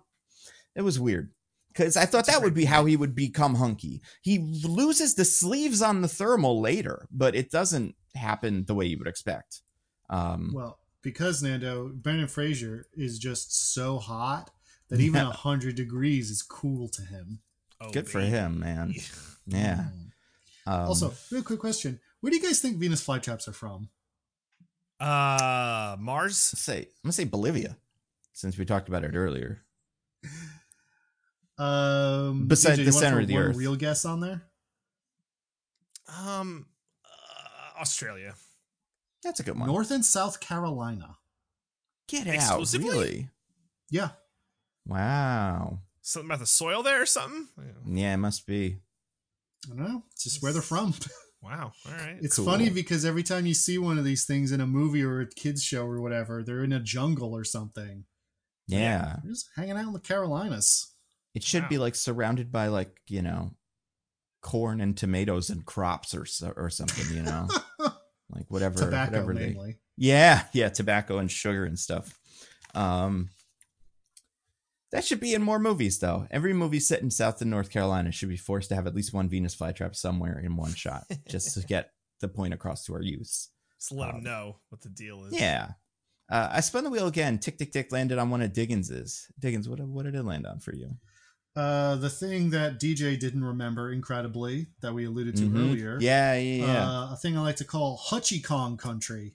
yeah. Why don't I remember this? So, in between them getting stuck in the cave and them falling down the Muscovite floor to the center of the earth, they find something else that gives them Yeah. hope that they can find a way out. An old mining operation that collapsed and killed a bunch of people, according to Hannah. Mm-hmm. Uh, but they're like, mm, but mine carts have to get out. Like they had to haul it up, so they, they maybe if we follow this mine cart track, we'll get out. Oh right. How did I forget this? So because they it doesn't matter. It completely doesn't matter. But yeah, it it was doesn't all the advertising for this movie back when it was when it was coming out. I remember seeing Yeah, this. That Pretty vividly. sense. So first of all, the way they they decide to start searching is uh, Brendan uh, Fraser and Josh Hutcherson sit in mine carts while Yeah. the while Hannah gets in a hand cart, the thing you like Mhm. Yeah. push up and down to make a move, and does it by herself. Yeah. And it, it's the classic design where there's room and like handles for two people. I mean, But Brendan Fraser is like, I'm just gonna sit this one out. Yep. she's getting paid for this. Six fifty an hour. You work for it. You know. You do the mind part. 65 an hour. Six fifty though. No, I think it's six fifty is what she's getting paid. It would be sixty five five rolls of quarters. No, no, no. It's sixty-five dollars, and it was wha- whatever you like. Uh, No. Seven and a half rolls of quarters is what you said, or yeah. whatever. It's sixty five dollars an hour. Oh really? Yeah. yeah, Oh, okay. That's You that's that. That's why I I, mean, said that's- it's actually a very reasonable rate. yeah. Okay. I don't know So why I thought a- it was the other You know, one. eight hour day. You know, like you know, almost like five hundred dollars a day. It's pretty good. And she should be And billing them for sleeping and stuff, like time that it's like, Honestly, You it should be a twenty four seven. Yeah, it really should. yeah. and also the part where she's like five thousand kroner, and he's like, a day sounds great. It's like you want to pay her sixty-five Five dollars dollars a day, day. Mhm. to do this. Or That is crazy. That or is he wanted to pay her five thousand dollars a day. He thought that was what it was, which I, I guess is kind of more reasonable. But like, yeah, this character is just pretty stupid. Also, I guess I don't know if we, yeah, it's sixty five dollars. You're right. I don't know why I thought it was six fifty. I guess I just thought it was a much lower rate than you would expect. But uh, but yeah, um, Anyway, so she's pushing, and then, but then, uh oh, they went the wrong way. They start going down, further down, Oh no. and mhm. um, I mean, whoever designed this mine should have been the world's most famous architect or something, because Yeah. somehow, in the middle of an infinite abyss, they managed to build a rickety, like single layer minecart track that Mhm. twists and turns like a Donkey Kong level, yeah. um, going all across this huge chasm all the way to the Mhm. other side, but only after ending in three split ways that two of them are dead ends and one just comes to a nice slow stop. And also, there's a, a little bump in the road at one point where it's broken. Yeah. But fortunately, the thing, the the tracks like go up, and your three, I must emphasize, unconnected Mm-hmm. uh, mine carts can fly through the air and then land one after the other perfectly. They didn't deviate at all. No, but they did have the extra thrust to go because Hannah did extra pushing on the thing. They're like, "Come on, get us over this," and she's like, "All right, I'll do it." And then she makes it, and she's like, "Woo, thank you." And then like she's like, "Great." Which was- at this point they're they're going like roller coaster speeds. They're Oh, yeah. zooming. Mm-hmm. I'm sure whoever made this movie was like, "We're gonna put this in our theme park one day when this it is a look, huge that's hit." what it looks like. It well, Yeah. who was it Universal? Like who is it that uh made this? I think right? so. Like It's one of them. It's not Disney, I don't think. It was No, New no, no. Line Cinemas. I don't No, know so- who owns them. well whoever that bought would them, but be- it, it so I think it would have been at a Six Flags. Six Flags. Yeah, Yeah. honestly, that tracks. Let's put this in fucking Mhm. Six Flags. Oh Hell man. yeah. so stupid. Yeah, that part was weird, and especially because like you could you said Donkey Kong Country, which is correct, but also like the Hutchie Indian, Kong Country. or excuse me, Hachi Kong Country, but like you know Indiana Jones is that right? Like the the Indiana Yeah. Jones does the minecart thing, but it doesn't look like stupid, you know, Indi- It's like the- Donkey Kong. So it's not it the minecart cool. section from Resident Evil 4. Yeah, it's just so rough. Um, but yeah, and it- apparently it's so forgettable. DJ didn't even remember that it was real. It's I crazy. know. I d- totally, totally spaced it. Unfortunately. Uh, you gotta pay more attention next time, I guess. I don't know. DJ, by the way, I spun the wheel, tick, tick, tick, tick, tick, landed on one of yours. It sure did. Um, it landed on. I just want to talk about this one. It's so weird. Um, biting that booty. So Oh, I had this too, but I said Oh, fish yeah. hungry for dead ass. I this was so weird. um, so sorry. This is, I'm just rewatching this because it's so bad. yeah, it really At what is. point, as an actress, are you like standing in front of a green screen on like a fake raft, and the director is like, "No, wiggle your butt more. We've got to Mhm. believe a fish is about to chomp down on it." Are So, you yes. like, "I've made a terrible mistake"?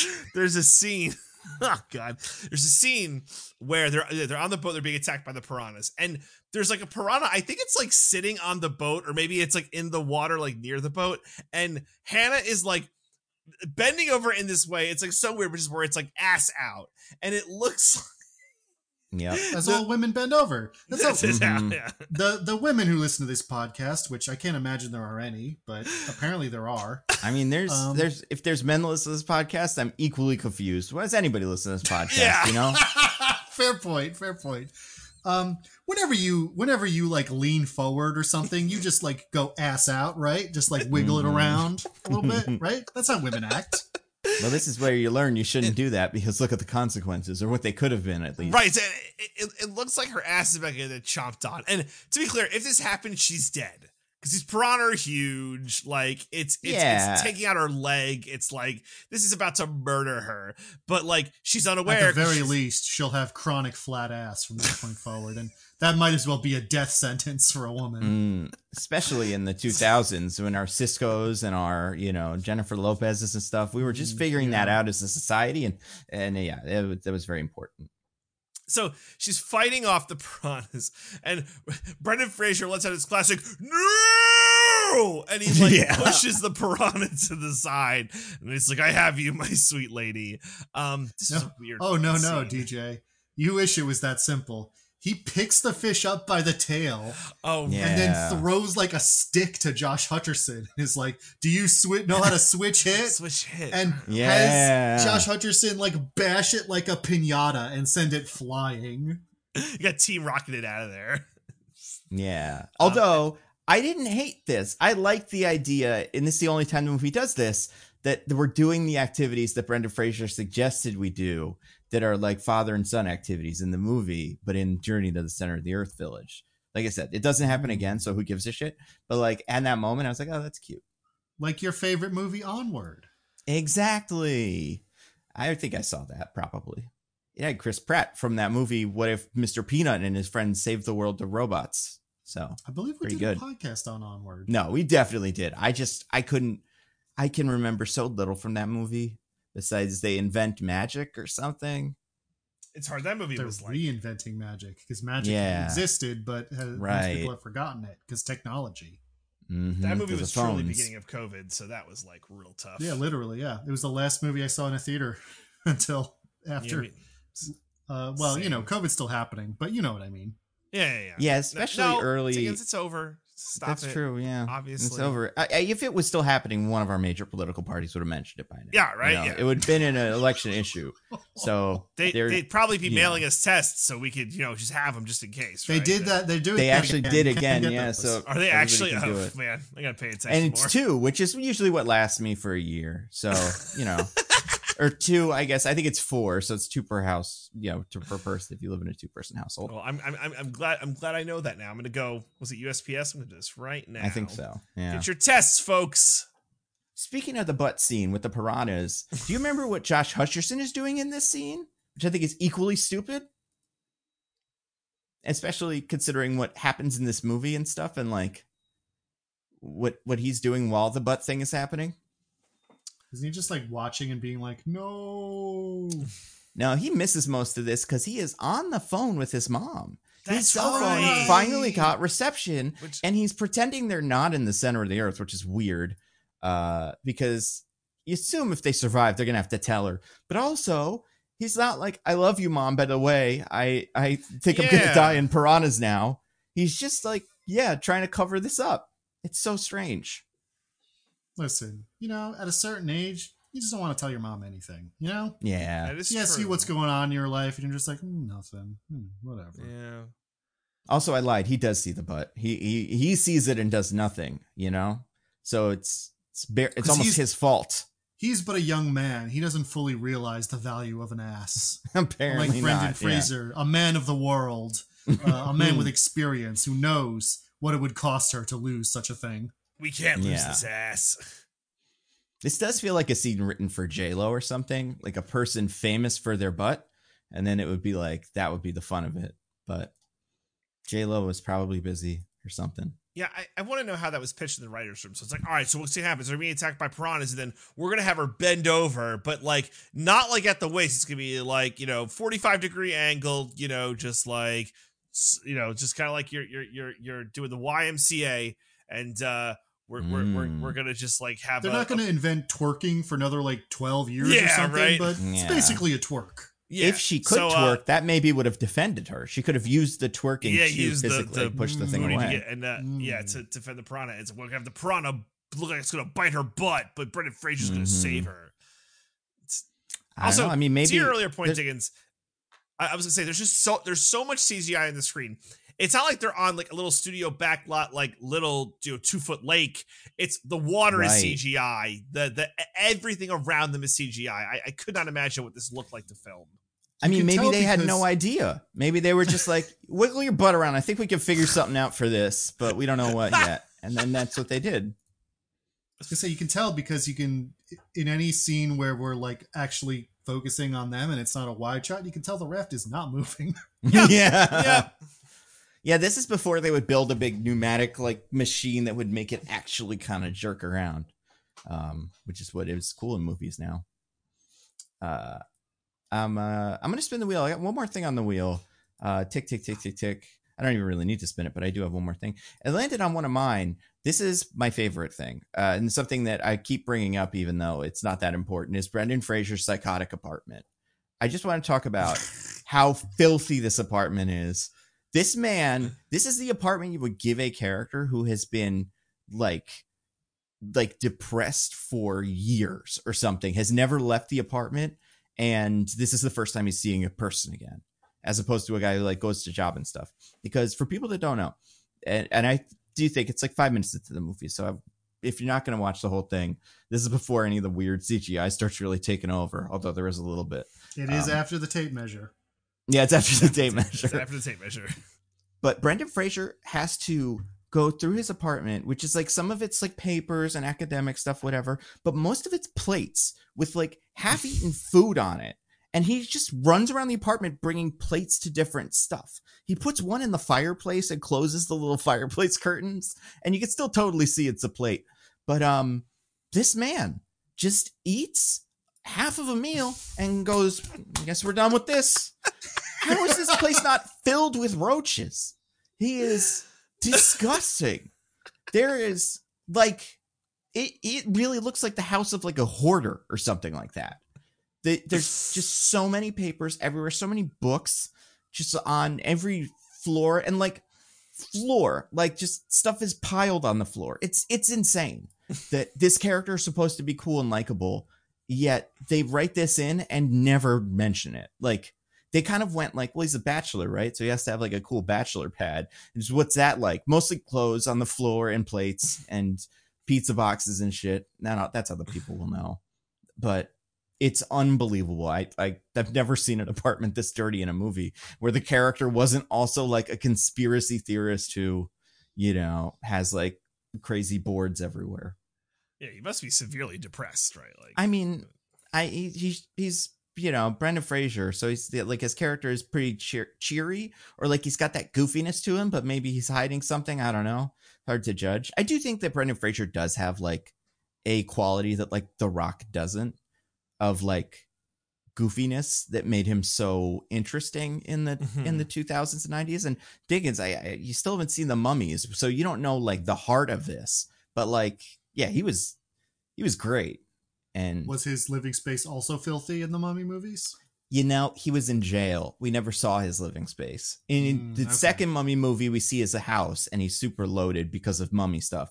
So Right. um it's a big mansion i think. Or that might be jonathan's house. I don't know if he lives there. That's the thing. Even when he has money he's still like doing mummy stuff so he's always on the road. Um Because he just loves Mummy. yeah he loves mummies gotta find them all. And uh Uh, so at the end of this movie, Hannah is in America with them, which raises a lot of questions. But oh whatever. yeah Okay. Do you think because they've like kissed and are like getting together by the end of the movie? Do you think because he called dibs because he called dibs? Well, actually, Yep. Sean called dibs, but he chivalr- chivalrously, you know what I'm saying? oh uh, yeah surrenders his dibs to his uncle. yeah what a cool Um, kid What a great guy, yeah. Do you think that they get to his apartment uh, where he's like, Yeah. "All right, here we are," and she's like, "Oh, never mind. Absolutely I'm Outta going back to. Iceland." especially considering she was living in a little house you know she probably is like really tidy and stuff because we see the inside of it for a little bit and it's just like a nice little house Right. where it's he has a big apartment in like i think san diego or something like that like it's a, like a a city but it's like a pretty good sized apartment for a single man and it's just filled with crap. Like it's such a mess. Um i just yeah i think i think she probably would have left him and that's why he's probably single. He's probably like always going over to the girlfriend's house and she's like i think he's homeless or something because he never Oh my wants to go to his place. And but he also Some of us are just very private. yeah. Does he Yeah. buy new bowls instead of cleaning them? Like he has so many bowls specifically This is a sticking point for you, huh? This, this yeah, is, it's it's gross and like even from the, in the scene where at the end of the movie that you're talking about, where you see everybody leaving and like and Hannah's there. Although, um, yeah, and then they're bringing the kid back.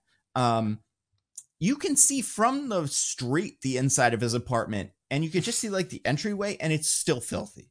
It's crazy, crazy. Like even if this, I would buy it if this character lived where he worked. His this was his office too, but he has a job. He has a whole office that no one It's uses true. for anything now. He should start putting his balls there or something. Because I don't know, man. This guy's this guy's got problems. I mean, nobody's perfect, but who let him get away with this? I think is a question we need to I answer. mean, yeah, I'm not surprised that he I mean, doesn't only have it all. himself. You know, yeah, so it happens. Some like you guys haven't haven't lived alone for a long time. You don't know what it's like out here. You know? Mhm. yeah, that's fair. Sometimes it's just it all piles up, and you're just too lazy and depressed. Just like you know? I get that. Yeah. Yeah. So that's bad movie. Uh, do you guys want to get to our classic segment?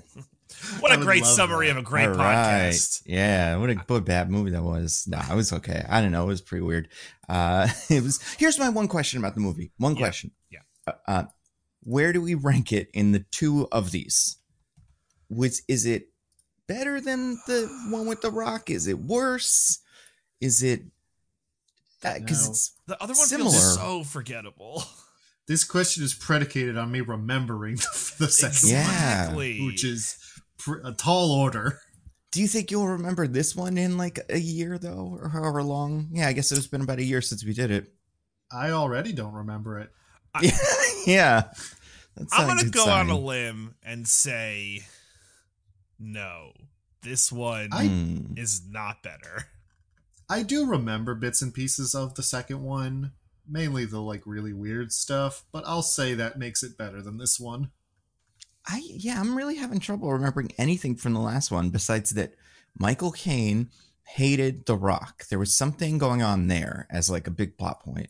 But um And The Rock Thunder Cookies people. and what was Thunder Cookies? Was that like a dance he did or was that just what, what was that? Yeah, it was like his pecs popping or something. It was like, Okay. I'm gonna give you the Thunder Cookies. Thunder Cookie. Wait, so is it something he would use to like attract a woman or something he would use to beat up a, a villain or something. I think it w- it was an attack. I think he was Oh. saying like I'm gonna thunder cookie um. I thought I could have sworn because I think he's done this in another movie. Gone like, there's a there's a what do you do when you see a nice you know beautiful woman? He's like you give her the old thunder cookies or something like that. But that's not what it is. But he does some like pec dance thing. I think it's from this movie. Well, that's that's the thing. Like I don't know if that was a thing he did in wrestling, DJ, but I know him doing the pec pop was a thing for a little bit. He did do the pec pop, but unless I'm misremembering, I do not believe he called it the Thunder Cookie in his wrestling Mm. career. I Oh don't no, no, no, no, not the Okay. thunder cookie part. Just the fact that he would do pec pop. Yes, yes, that is correct. Yeah, okay. So I found the clip. He does punch a monster or something and says the punch is the thunder cookie or something. hmm Um, Okay. Interesting. Cool. Good. This is good. Um, so on the basis of the thunder cookie alone, I say the second one is better. yeah, I do think like I think this could be more popular or or like it could have life because of how weird it looks. Um, I could see people going back and like having having fun watching it because of that. But uh, I mean, it made even more money than this one did, so it must have been better. Oh, excuse me. I mean this one. I mean this one. Like, I think this one you could go back to to today, and it would be like, oh my god, what a what a crazy thing. Whereas I think the one with the Rock looks fine. It looks Mhm. so normal that it's not really memorable.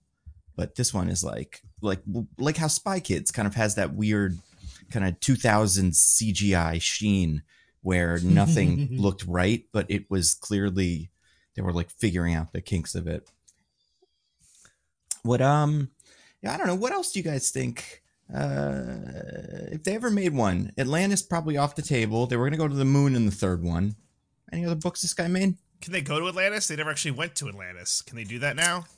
I mean, it's weird because there's other Atlantis movies, right? Like, could they do? But hmm, I don't know. They could take the Stargate to Atlantis. That was a, that was a show. I don't know. Yeah. Yeah. Yeah, Jules Verne books. Let's see. Let me Google. real Oh, quick. let's go. All right, so we got Around the World in 80 Days. That's a Jules Verne. They made a movie of that. It's like Made Jackie many- Chan. They've made many movies of many Jules Verne books, yeah. Oh, 20,000 Leagues Under the Sea. That's Jules Verne. Yep. but Yeah. that's that's what basically Journey to the Mysterious Island is.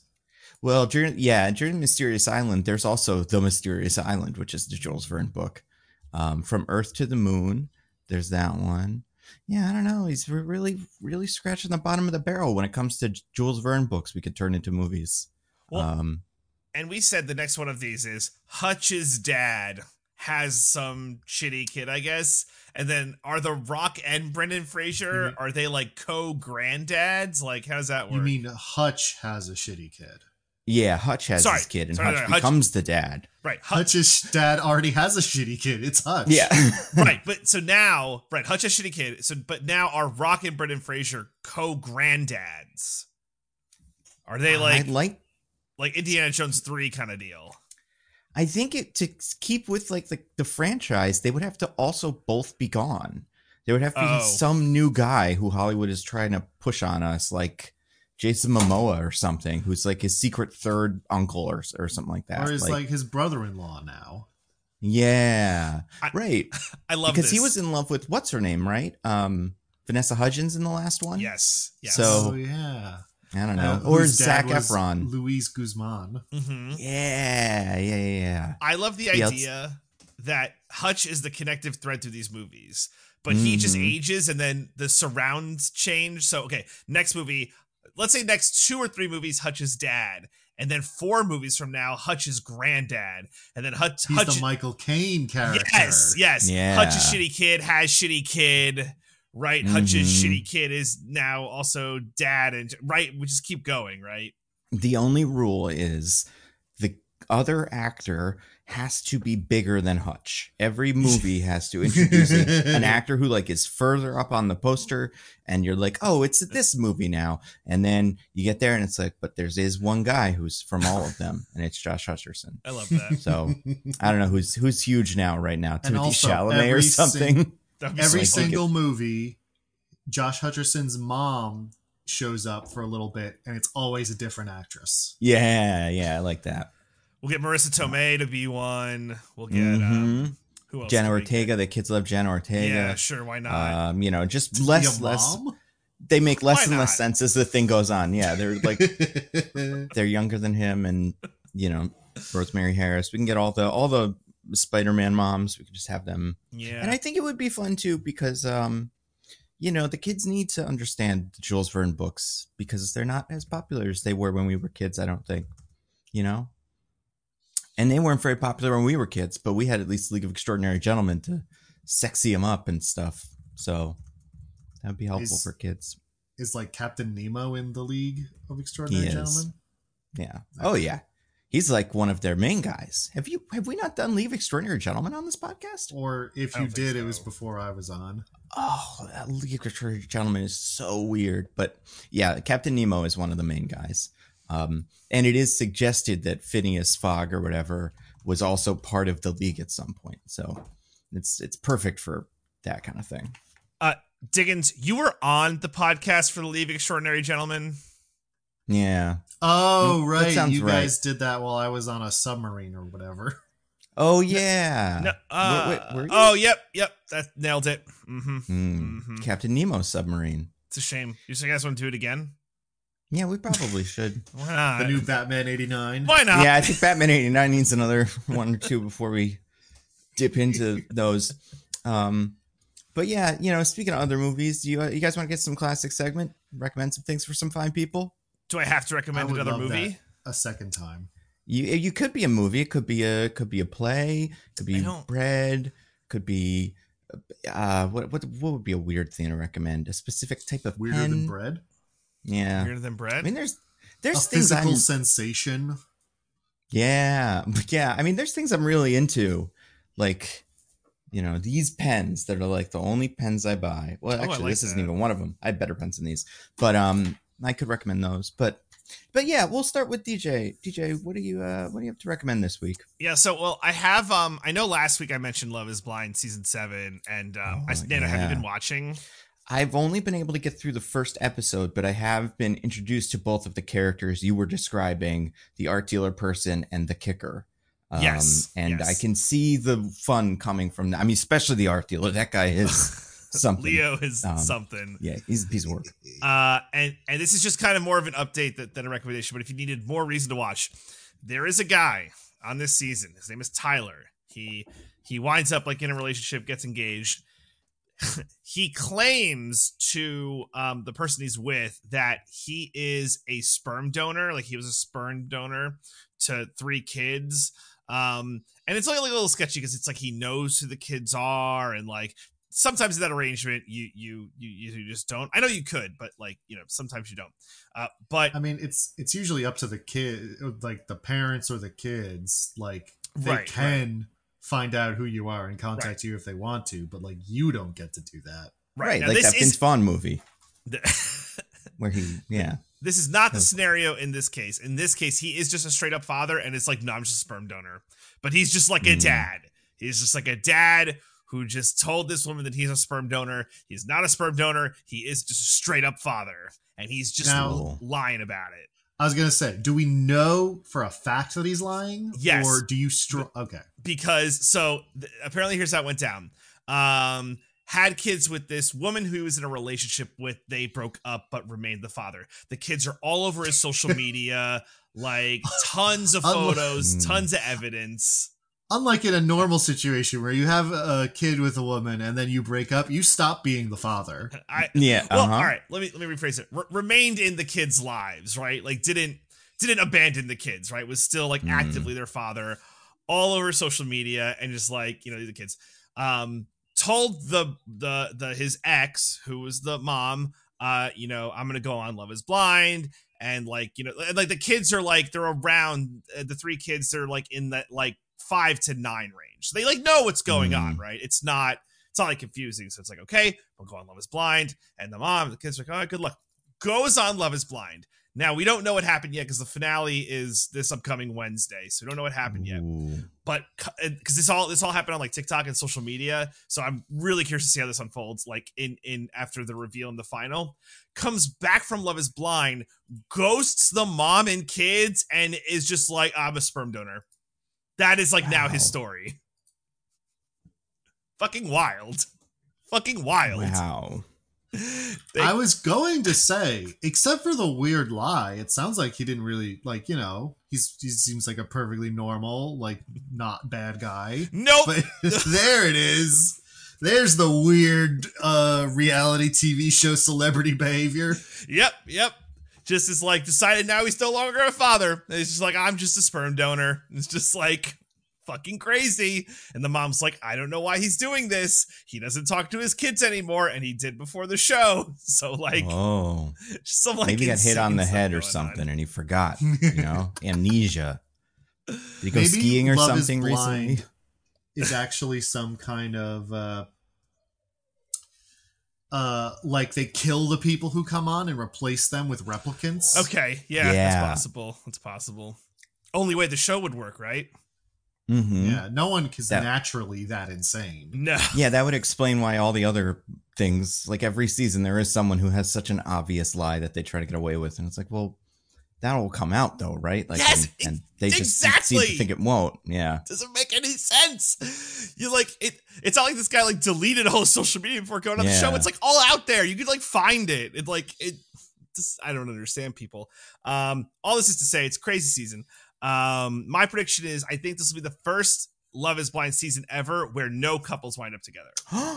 every season we have at least one, even if they get divorced later, they like the show ends, quote unquote, with like them together. I think we're gonna have the first season ever where there's no couples. It's gonna be an And- awkward finale with a bunch of single people. Because they've all And you done know- awful things like lie about their children or be short. Just unforgivable Yeah, yep. actions.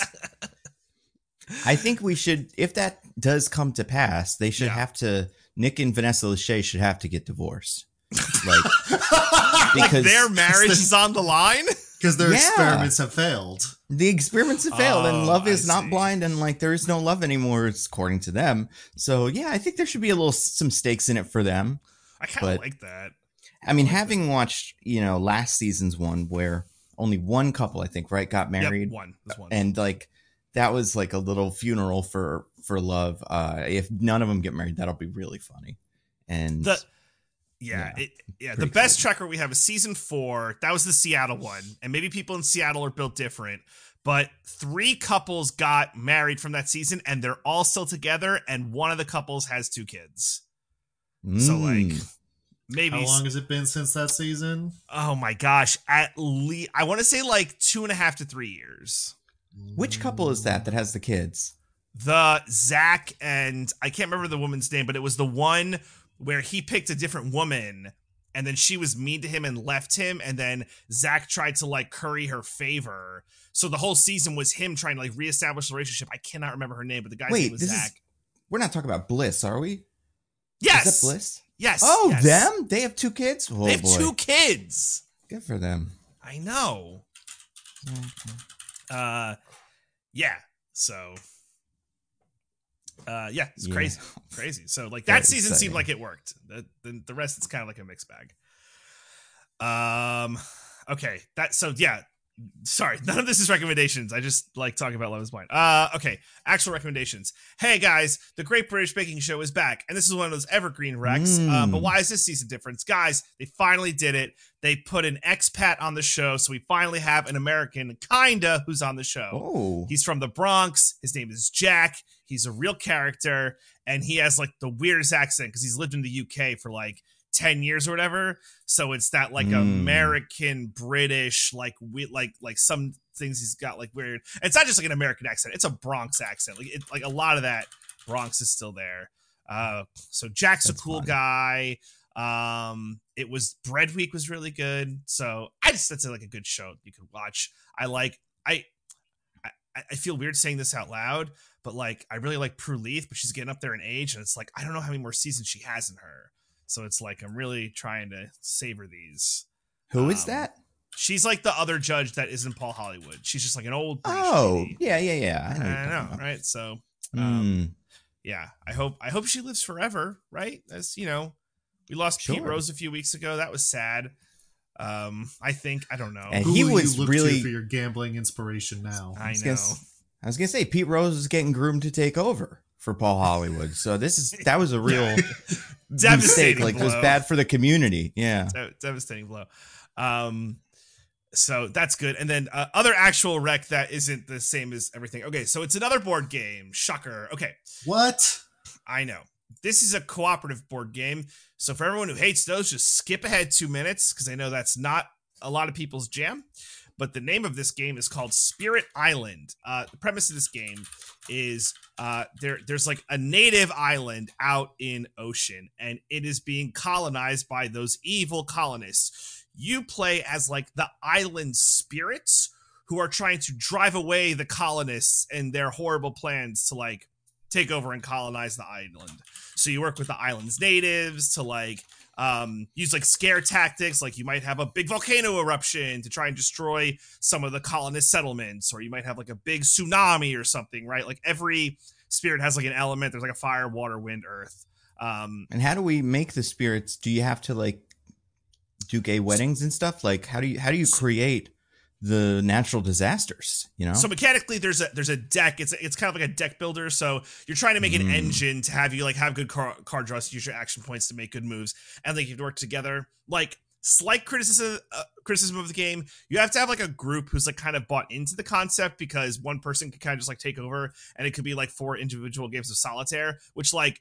I I like maximizing my own engine, but like there is a teamwork aspect to it. I I almost wish, and I get why it's not, but like I almost wish it was like competitive where you're all working toward the same goal but like you get individual points so it's like i'm the fire one i want to do best get rid of the colonists but like there is an aspect of the game where it's like well i if i use my wind powers to move all the colonists to like this corner flood guy can you drown them all in your awesome flood tsunami so like Mm. that is an aspect of the game that I think, like from a design perspective, is how it's supposed to work, but like it, it doesn't always execute that way. But I still think it's a good game because like the engine building of of the game is fun. I really really like it, and I think it's a fun premise. Like, isn't that cool? You play spirit gods trying to crush colonists. Like, I think that's fun. Um, Mm. That's like good creative flavor for game because I, I feel like so many other games, it's like you are the colonizer, right? It's like all right, now build your cities and civilization and da da da. So what Pillage DJ's and- telling us is that he's betraying his people. Yeah. I Hey, I, think you know, he sh- I, I, I, you know, I'm not How a long colleague. until- I'm a colonizer, as that word says. So you know, Mm. maybe I just How long until there's a version where you can play as the colonizers? When's that going to be a thing? You know? Spirit Island, but now you're the other ones. yeah, isn't there? Wasn't there like a um pandemic expansion pack at one point where you were the bioterrorist, right?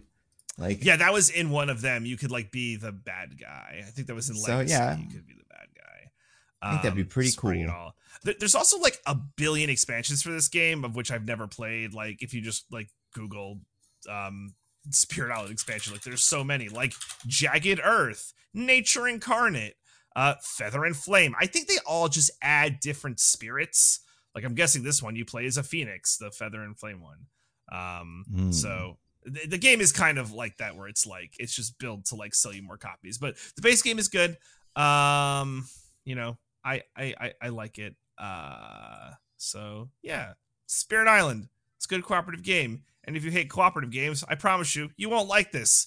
Like this won't be your gateway drug into cooperative games. You'll be like, this is why I hate cooperative games. And I understand that. Some people just are, you know, uh, you, you want to fight. You're just born fighters. Um, so anyway, that's my recommendation. Diggins, what about you? I watched a little movie called uh, The Wild Robot. Oh, so good. I want to watch it. Hold on, DJ. What? Me, so good. Yeah. Is it bad? Is it bad? No, obviously I'm wrecking it. It's a good Oh, movie, right. but you said Okay. so good. I want to watch it. Mm. How can you? How do you know? So, so happy for you. Good. It's- I'm sorry. I'm sorry for interrupting. I'm- this is my punishment. I'm sorry. um, no, no, it is a very good movie. Um, so this is the if you haven't heard of it, uh, because that guy on Twitter just uh, whenever a robot movie comes up is like it's Transformers One. No, no, no, no. Mm, There's a second one. Uh, and it is about a robot, like a helper robot that washes, like, gets like lost at sea and washes ashore on a remote island. Or it's not that remote, really, but on an island that where just like wildlife lives. Uh, and she sort of has to uh, adapt to her new surroundings, including uh, she ends up raising a little gosling. Uh, and you know, from there it becomes very much a story about like parenthood, uh, as well as this sort of idea of uh, adaptation to nature and you know having to sort of like adjust to your surroundings, et cetera, et cetera.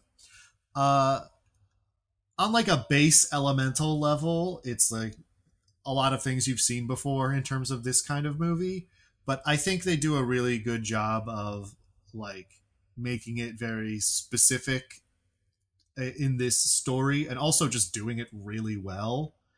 Uh, Lupita Nyong'o, who plays the robot, I think she puts in a really, a really, one of those like performances that would never get nominated for an Oscar because she's not putting on a lot of makeup or like doing Yeah. a silly voice, uh, Mhm. but is actually like a really nuanced, like very well done performance. Um, uh, and also Matthew Berry's in it, so that's always fun. oh, does he play the robot from Fallout again that shows up in this?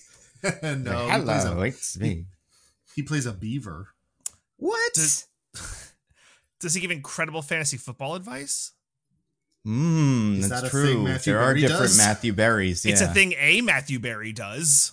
hmm Well, I'm talking about the the superior Matthew Berry. Oh, get wrecked, other Matthew Berry. Yeah. Listen, My- being not as good as Matthew Berry the actor is hardly an insult. Oh my god, That's fair, He's such that's a fair. yeah. He's wonderful. Uh, and you know what? I bet he would have good fantasy football advice. It's not that hard, you know. That's true. We don't mean- know that actor Matthew Berry doesn't give good fantasy football advice. Yeah. Well, he is British, so he probably doesn't know anything about American football. M- maybe fantasies your actual football advice. Well, we keep sending the fucking the football teams to England and Brazil and shit. They eventually they're gonna have to pick up some of it by osmosis. But it's the bad ones. I don't know if this yeah, game it is has the bad ones. happens yet, but there's a uh, New York Giants Carolina Panthers game. No, it happens in like a Mhm. month in Germany, and it feels like we're like punishing Germany for you know certain crimes they may have done several Mm. decades ago. But it does feel like that because that was going to be a terrible game. Yeah, DJ, are you suggesting that we punish people who commit unforgivable crimes against humanity? It seems true. the NFL yeah. might, but also Hmm. they don't. So never mind. The- I feel like too, um, the Matthew Berry, even if he didn't pick it up from watching the games, I, if I remember correctly, in what we do in the shadows, the show, I think his neighbors are big Jets fans or something like that. I feel like the Jets have a presence on the show, so he'd be really bad at fantasy if all he knew was Jets. That's And, true. Like, point. you know, Well, no, he would know. Don't pick anyone on That's the Jets. That's true. Yeah. Right? Yeah. Exactly. Yeah. That Mhm. makes sense. That's good Smart. advice, right? yeah, Uh, but yeah, no, the Wild Robot is a very good, very sweet, um, and I, I, it, it was getting me towards the end emotionally. Uh, so yeah, I think if you get a chance to see it in theaters, I don't know how much longer it's going to be in theaters. I think it was doing like decently financially, so uh, yeah. I think it's stick doing around. pretty well, even though it's on VOD now I because know. they just like Crazy choice by them. It is on that- VOD now, but if if you can see it in theaters and you haven't run over any witches, mhm. uh, then I think you should because I think it's uh, really good, and also they do they do a little bit of that Puss in Boots uh, stuff oh. uh, with the animation. Not they don't go as far as Puss in Boots does, but they do a little bit of it. Uh, and it nice. Does the movie explain why it's important to be a dad? Mm, I bet it does. What about being a mom? Okay. Oh, okay. So this one isn't for dads, it's for moms. finally. All right. I guess it's that's okay. I mean, there's kind of a dad figure you could identify with. Oh, is there good? I didn't even know that. Good. Kind of. Hmm. The robot gets it on with like a tree or something. It's I would say he's giving more uncle energy. okay. That's but- Hmm. You know, like surrogate dad. yeah. What is uncle but other dad? You know, that's true. As we know from well, that's not exactly Yeah. Journey two, but you know, whatever. Well, no, in Journey one, Yeah, he is an uncle. Jesus. Journey Mhm. one, he's an uncle. and Journey two, he's a stepdad. Right. So That's as we learned yeah. in Journey one, what is uncle but other dad? See, full Mhm. circle. There we go. Anyway, that's Yeah. my rec for this week. What about you, Nando? Um, I only have two things. Uh, besides comics, I feel like I've been reading a lot, but nothing that I've been like in love with. There's a couple of books that I haven't gotten yet. Uh, that that have just come out. Um, that I'm waiting till because I'm going. I keep I keep going. Like, should I go to the comic book store? I'm like, no, because I'm going to go to Comic Con and buy this too. So I'll just get it there. Um, but I'll probably have more recommendations on that next week. Um, I would say my two recommendations this week. One, and I've been talking about it a lot off camera, but I've made even more progress on Crazy Ex Girlfriend. I watched maybe three or four episodes a day, and um, it really is like one of the funniest shows. I, I'm shocked they made it, like that it was able to be created with money on like a network that's not know, HBO the or fact- something. The fact Like- that it's a network show is insane. It's nuts. Like it's so there's there's 13 episode seasons and then a 16 episode season, I think. So like there's so much of it, and it's like yeah, just really well produced and expensive in a way that I'm like they really used to make shows like this. It's it's pretty impressive before you know, but the collapse or whatever we're dealing with now. Um, but uh, but yeah, no, it's great and like it's very funny. Um, I do think season two is I, I'm guessing season two is probably the one where the most stuff kind of happens, and it's just like the most I don't know, not like stuff happens, but um, I could see season two being the fan favorite one um, because it just it has an energy that uh, I think you can't get in season one. You need to build to it, but it's before things get a little too you know too much stuff starts to actually it's hard to explain anyway yeah so season two was great um The, the season two theme song is definitely the best one. I don't know. I like the season one theme song. Going back, I think that's like The pretty season one fun. theme song also great. yeah, the season two theme song. Uh, that yeah. The that season two theme song is great. The closing joke on the season two theme song, wow, gets me every For time. for sure. And I, well, oh, I thought you were gonna say the way that yeah. Um, I see. I like the this. I forget what it is about the season one theme song that I really like. Um, but uh, what was it? I don't know. But I do like I like the moment in season one where they say this theme song and they just go through every every uh every lyric of the theme song one by one. That's That real is- fun. That is also very funny. So you know, it's a great. I think it's a great show, and it's it's old, but it's not that old. Like it's you know maybe ten years old. I don't know when did it come out. Um, Yeah, I think it was airing about ten years ago. Although that 2010s? saying that out loud makes me want to melt. I know, yeah. Uh, it's pretty, it's pretty insane that they, uh, yeah, that they made this 2015 to 2019. Okay, so like technically it ended five years ago. If you want to be, uh, you know, That If- makes if you wanna melt a little less. feel less melty. Yeah, if you want to be more solid.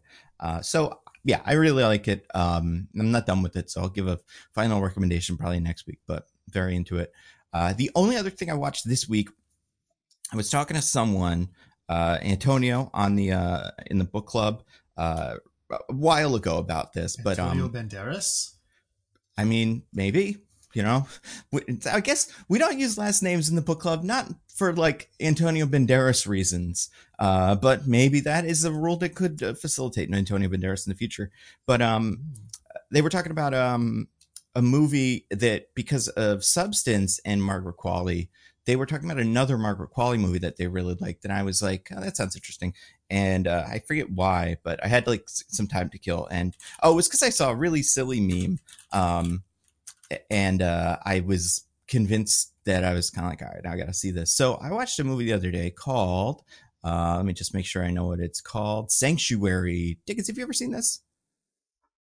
Is that the one where it's like her and the guy in the hotel room and she Yes. he's trying to fire her essentially? Yeah, yeah, yeah, yeah. I haven't seen it, but I do know about it. I liked it. I thought it was good. Um, it's definitely unusual, and it's definitely going for like a play vibe. Uh, I'm I wouldn't be shocked if it was a stage play at some point, or if it was written as that. Um, she it's it's two people like we're saying, Margaret Qualley, and then Christopher Abbott, who I wasn't super familiar with, but um, he is in Poor Things. He's the guy that's like the um, the I don't want to say well the like eventual husband who's like a general or something, right? Or like some, you know, the guy who's like the, rich guy. the guy at the end, basically. Yeah. Yeah, yeah. I can't remember what his actual role was, but him, that that actor, and it doesn't seem like he does too much other stuff that I like I would have seen. So I don't know what his deal is. He looks in this movie like he's playing a young um, Mark Ruffalo. He's got that vibe, really, really specific. Um, but I thought he was good. Oh, he's in Kraven the Hunter. Hello. Oh, let's Okay. go. Oh, he's playing the Foreigner. Okay, the Foreigner is a uh, a really weird Spider-Man, not a weird Spider-Man villain, pretty boring Spider-Man villain, honestly. But um, one of the ones who you're like, I guess that technically own was enough to be a guy, pretty much. Yeah, it really is. He's not He's from here. yeah. Look at his he's a s- crazy passport. he's uh yeah i'm surprised i did not i did not realize that was him. Oh and he's in that wolfman movie that's coming out soon so he's cool. But anyway the movie it's it's a um it's a movie you probably don't want to watch with like your parents but besides that i wouldn't say it's as Really? I'll, I'll- well okay hold on. I'll give you like the, the idea of it and then i think you could kind of walk back from it a little bit. Uh, it's about a man who is for reasons that are explained in the movie uh, he, he has a relationship with a dominatrix um, and he is trying to fire her and that's the whole movie. But she doesn't want to be fired and it's this big kind of push and pull whatever. Um so you're like oh it's a it's like a movie about dominatrixy stuff like kind of like it's it's not just about that and it's not really like you're not watching too much of that happen. The language of it is a big part of the movie but it's not i think it's going for not super explicit uh for for the purposes of just making it b- about more of a you know cerebral game of cat and mouse or something. So Hmm. i really liked it. And um yeah i think i think it's pretty it's it's just interesting. And i think she's good. I really do like after substance in this i didn't realize she was a nepo baby. Um i wish she wasn't Yeah. because then i'd be like yeah you know they still make you know movie stars that don't come from other stars but whatever. At least they're No, good sorry, when they do we- come from other stars. we still only have Sydney Sweeney. It really is. yeah. Oh man, Margaret Qualley's in uh she's in uh Happy Gilmore 2 coming out soon, so that'll be fun. Oh, right. Um, They're making that. With fucking oh my god. Okay, real quick, there's a side rec. Um Hannah's watching a show this week called the um um um what is it called? Um Grotesquerie or whatever. New Ryan Murphy show. It Oh, yeah. stars Travis Kelce is like a What? main character actor in it. Yeah. It's weird. I was gonna say that because he's also coming up at the top of the uh, Happy Gilmore 2 cast. So Uh, okay. Is he is he the brother? in the show, it's unclear. No, oh wait, no, you no, no, you no. mean in real life? Um Yeah. or is that No, he- the boyfriend? uh wait, it's the You're saying Is he the one dating Taylor Swift, or is he the one who's the brother of the one dating Taylor Swift? I think he's the one dating Taylor Swift, right? Wait, who's the other one? What's the other one's name? I don't know. That's DJ, why you, I'm sh- asking. you know this. Who's the other? There's Travis Kelce. Jason he's the, Kelce. Yeah. And J- what's Jason Kelce's deal? Is he just he's just around? He he's not playing football anymore. oh, he used to play football though. He was a center Oh, for the right, Philadelphia that guy. Eagles. Yeah, with the beard. Okay, yeah. Yeah. He, now now you can see him in Buffalo Wild Wings commercials. I feel like I that's gonna what he's say I see him. doing. I see him in commercials sometimes. So I'm like, is he like an actor now? I don't understand any of this. I don't know the the the football player to uh like quote unquote actor like transitions like really weird like because Hmm. I think we Sometimes- talked about this We did, already. yeah. There's only one guy who's ever done it, and uh, apparently he had to make a kind of dark deal to get it done. hmm yeah I don't I don't think it always works out but you know.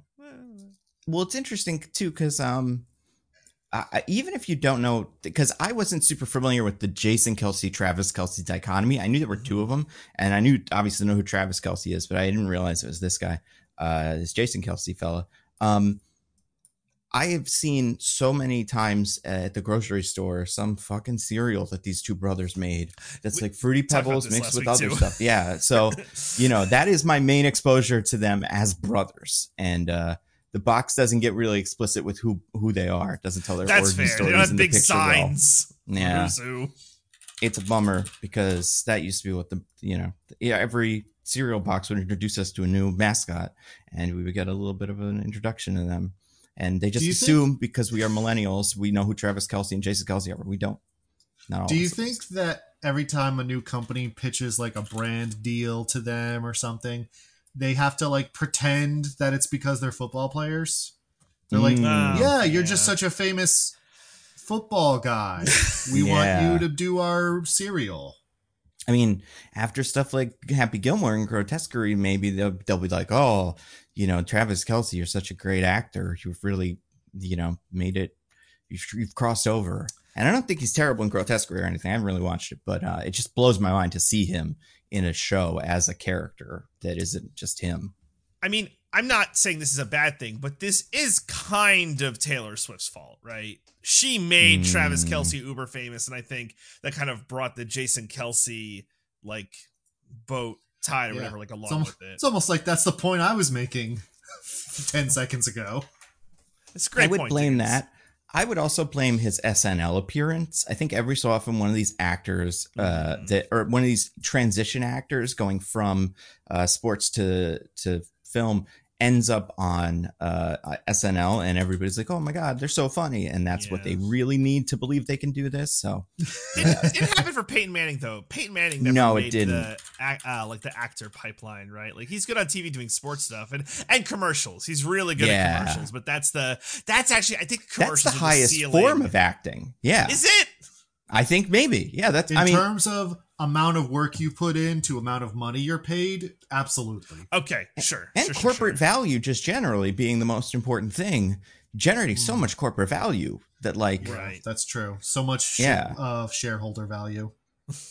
yeah like this guy christopher abbott whoever the fuck we were just talking about who's very good in certain movies sure but like how much does state farm or whatever get from him like how much has he you know Right.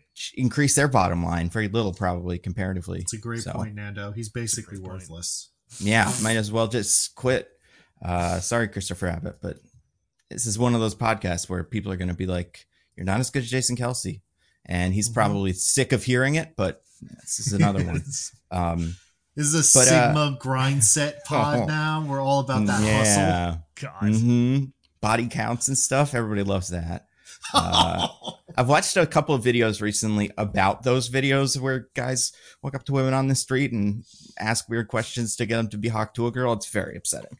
No, um, no, yeah, no, no. bad, bad things. Sucks. But it's a phenomenon that is only going to keep getting popular. So you go to like Nashville, you're just going to see a street populated by all of these people, uh, and that's that's fun, I guess. Um, Well, uh, just real quick, that is silly though, and not to do complete reruns, but Diggins already brought up this point at a previous podcast. Like it, the guy who did the interview with Hawk to a girl did not get incredible fame.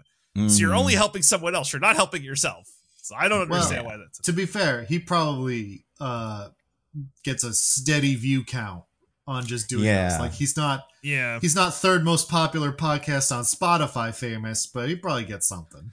All right. and he also enough. probably like now does it with a with a hoodie on that says "Hawk to a Yeah, girl." found something. Hawk-Tua. So more Yeah. people come up to him for it. Or, ah, it's it's insane. It's it's its own little weird little industry that I hope will be Mhm. gone in a couple of weeks. Like you know, it'll flame out. I don't think uh, so. Also, But if either I'm being one of those guys, I don't want to get too famous because then people are going to look into me. And I, if I'm Yeah. the kind of guy who does this, That's true. I've definitely done some shit. yeah, there's there's a limit to how much you can. Yeah, how how close you can fly to the sun. Um. So anyway, uh, my recommendation was that movie with the with the with the person, um, Sanctuary. I keep want to say substance because it's an, an S word. Um, probably about the same number of letters as someone who does the New York Times crossword puzzle every day. It's very. Uh, I, I think of words only in their letter to uh, starting letter value. As But, you should. Yeah, anyway, it's all it's all that matters. Um, what are we going to do next week? We were talking about this before. and We don't have a great answer for this. so Um, basically, we could do a debt, we could do some random shitty streaming movie, or we could continue Hutchtober. Yeah, if only I I think we've got a couple of Hutch movies that we're thinking about. None are jumping out as the obvious next step like this one did. So we'll know soon. But if if anybody has suggestions or anything, welcome to throw them out, and you know that might help. Or, or maybe we finally do debt. Who knows? Who- I who feel like we can't do movie debt in Hutchtober. Like it, I feel like the, Yeah. any any other month it's fine, but in October it's like you gotta do, you gotta you know Yeah, Hutch. Say Everyone's- it's sacred. Yeah. Everyone's covering Josh Hutcherson movies in October. We can't be left behind. Mm-hmm. Even though we started like two thirds through the month.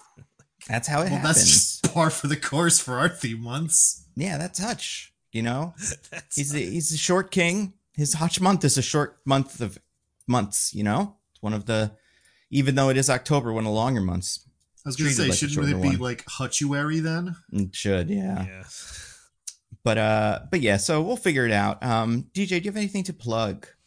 Uh, I mentioned uh, Roses and Rejections, my podcast on the Pop Rig Network, where we're extensively covering Love Is Blind. So if you want the Mm. real deep dives, check that out. And I think that's it. That's that's all I'm gonna say. So Diggins, what about you? Mm, no. What about you, Nando? Uh, videos out. Um, my Blade pitch will be out on Nebula before this podcast comes out, so that you can watch that. That's very fun.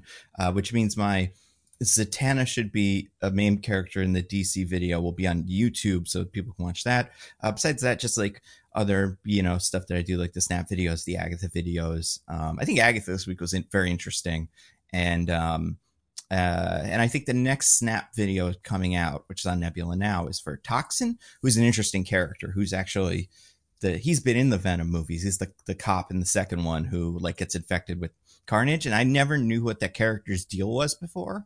Uh, but it's it's not what I expected, so it's kind of something.